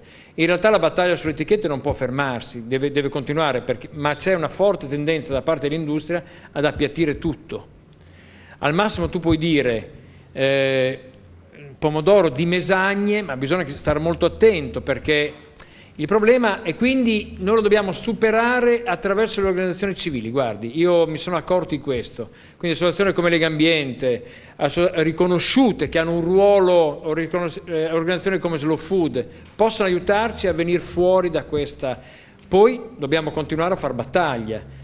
Guarda, non so se lei ha seguito la questione dell'olio, non è ancora vinta. Cioè, questo dell'olio si farà confezionato, ma sa qual è il punto?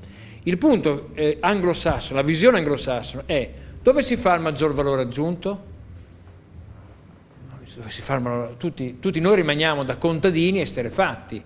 Allora, se si scopre che il maggior valore aggiunto in una bottiglia d'olio non è nel paese d'origine, ma in quello della sua trasformazione, cioè l'olio, trasformazione, confezionamento, allora può essere il territorio di confezionamento. Loro, di, loro, la loro modalità di ragionamento è questa. Del resto dicono, voi che vendete i vestiti italiani, come fate in Italia, quel cotone da dove viene? Quella lana da dove viene? Noi rimaniamo così e diciamo, bah, il, cotone verrà da Latina America, la lana viene eh, da, dalle tenuti Benetton eh, in Argentina.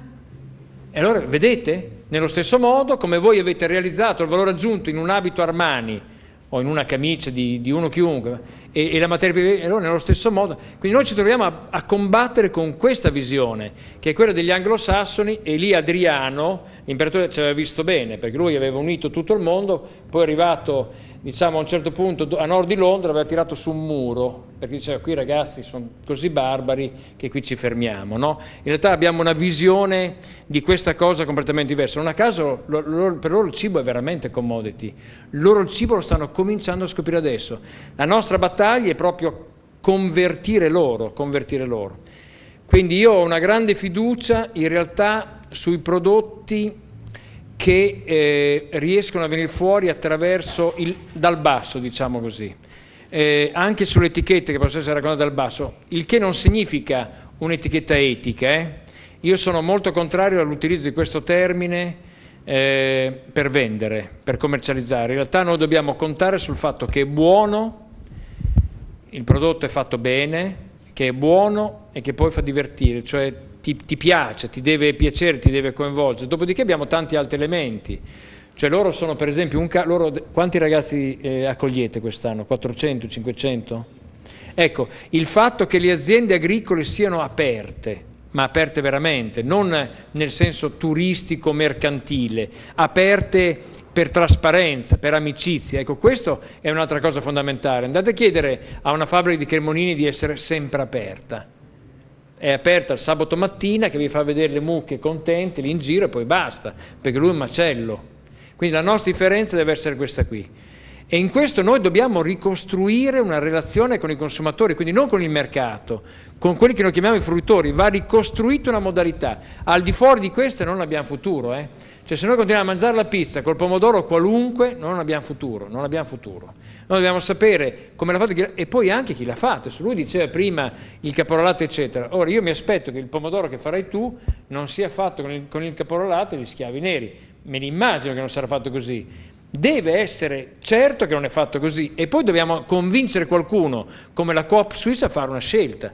Per esempio Coop dice che il suo pomodoro, quello confezionato Coop, proviene solo da aree del nocerino dove loro controllano che non ci siano immigra- eh, insomma tutti quelli che lavorano, eh, io ci credo, no? vanno a fare i controlli, ci credo. Ecco, noi dobbiamo fare la cosa un un po' meglio, secondo me un po' più, però è questa la cosa che va fatta. Allora tu fai un pomodoro diverso dove il primo motivo per cui lo vendi è che è buono, eh? perché se il pomodoro fatto eticamente non è buono, siamo rovinati. Ecco, que- penso questo, quindi dobbiamo lavorare con eh, pezzi della società civile. Lega Ambiente, per esempio, è un eh, soggetto importante e spero che Legambiente possa coinvolgersi ancora di più concretamente, proporremo delle, faremo delle proposte a Legambiente nazionale per fare degli uffici di sviluppo nel Mediterraneo, proprio uffi, fare insieme uffici di sviluppo nel Mediterraneo e cominceremo dalla Calabria, mi piacerebbe cominciare, però cominceremo dalla Calabria, per tanto siamo sempre, c'è la strada qua, no? Eh, vicino, siamo sempre vicini. Senti, io ti dico il mio parere personale, io sono, capisco molto bene la razza della tua... Uh, del...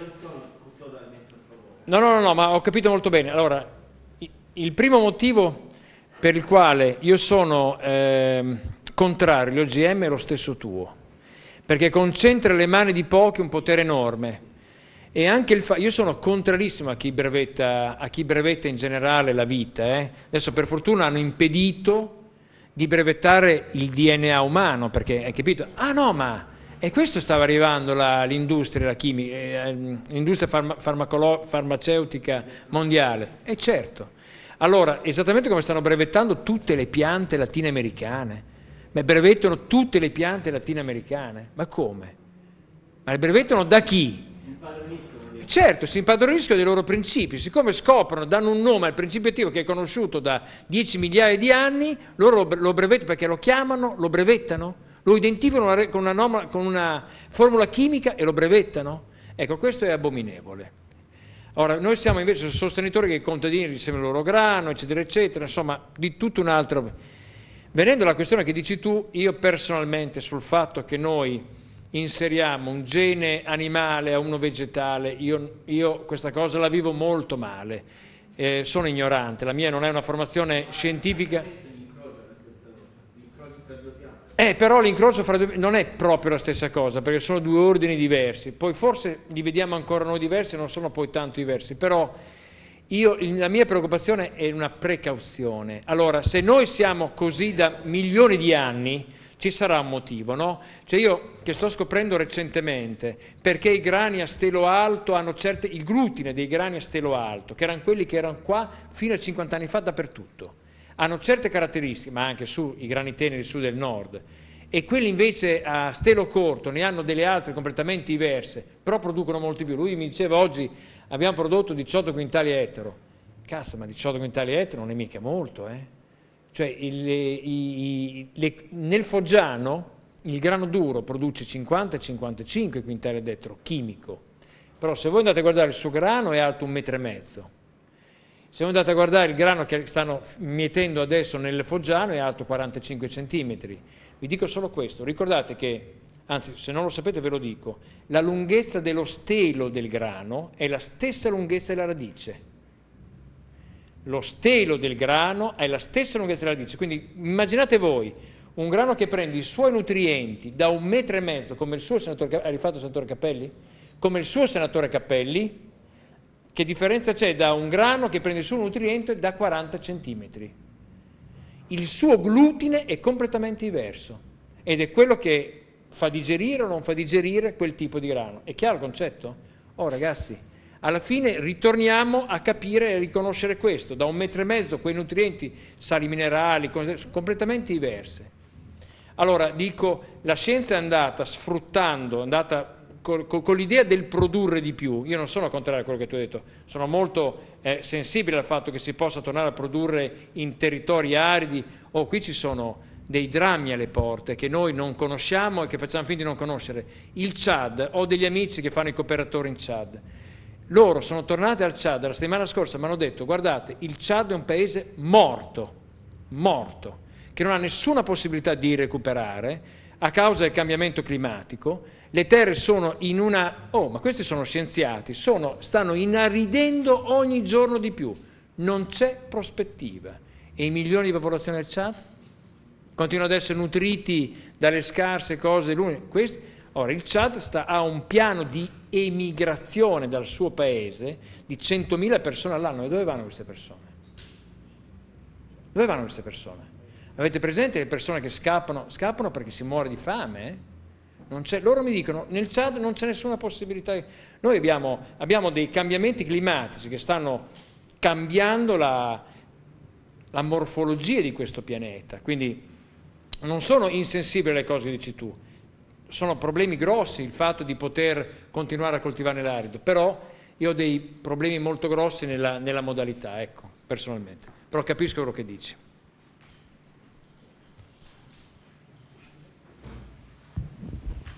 Ci andiamo a bere una birra artigianale? O non ce l'avete? Perché qua a Mesagne manca, eh? Io propongo un applauso a tutti e due i nostri relatori che ci hanno dato degli spunti veramente importanti. Vorrei dire tantissime cose, però in realtà non dico nulla, solo Legambiente eh, si porrà come interlocutore privilegiato con tutti i cittadini di Mesagne che vorranno scoprire meglio. Oggi abbiamo scoperto tante cose, almeno per quanto mi riguarda io ne ho scoperte tante. Eh, ci poniamo come interlocutori vostri e anche vostri. Eh, non voglio fare promesse di facciamo questo, facciamo quell'altro, però eh, lavoriamo, secondo me c'è molto eh, su cui poter lavorare insieme tranquillamente e in modo fruttifero. Quindi io ringrazio tutti eh, vi rinnovo l'appuntamento eh, con il prossimo lunedì, eh, qui a Mesa, eh, lunedì prossimo parleremo di turismo, l'altro settore economico importante per il nostro territorio. ne parleremo insieme al direttore di, eh, Torre, del consorzio di, di Torre Guaceto, eh, Ciccole, Alessandro Ciccolella, e con Doveva venire Sebastiano Venneri, eh, presidente di Vivi l'Italia, però purtroppo ha avuto degli impegni eh, a Lampedusa, ha un convegno, dei convegni a Lampedusa e verrà eh, anche eh, il eh, no, il direttore della riserva di Torre Guaceto, Mauritesi di Porto Cesareo, Maurizio Manna e ci parleranno di eh, del turismo e del turismo sostenibile e turismo buono. Grazie a tutti e a lunedì.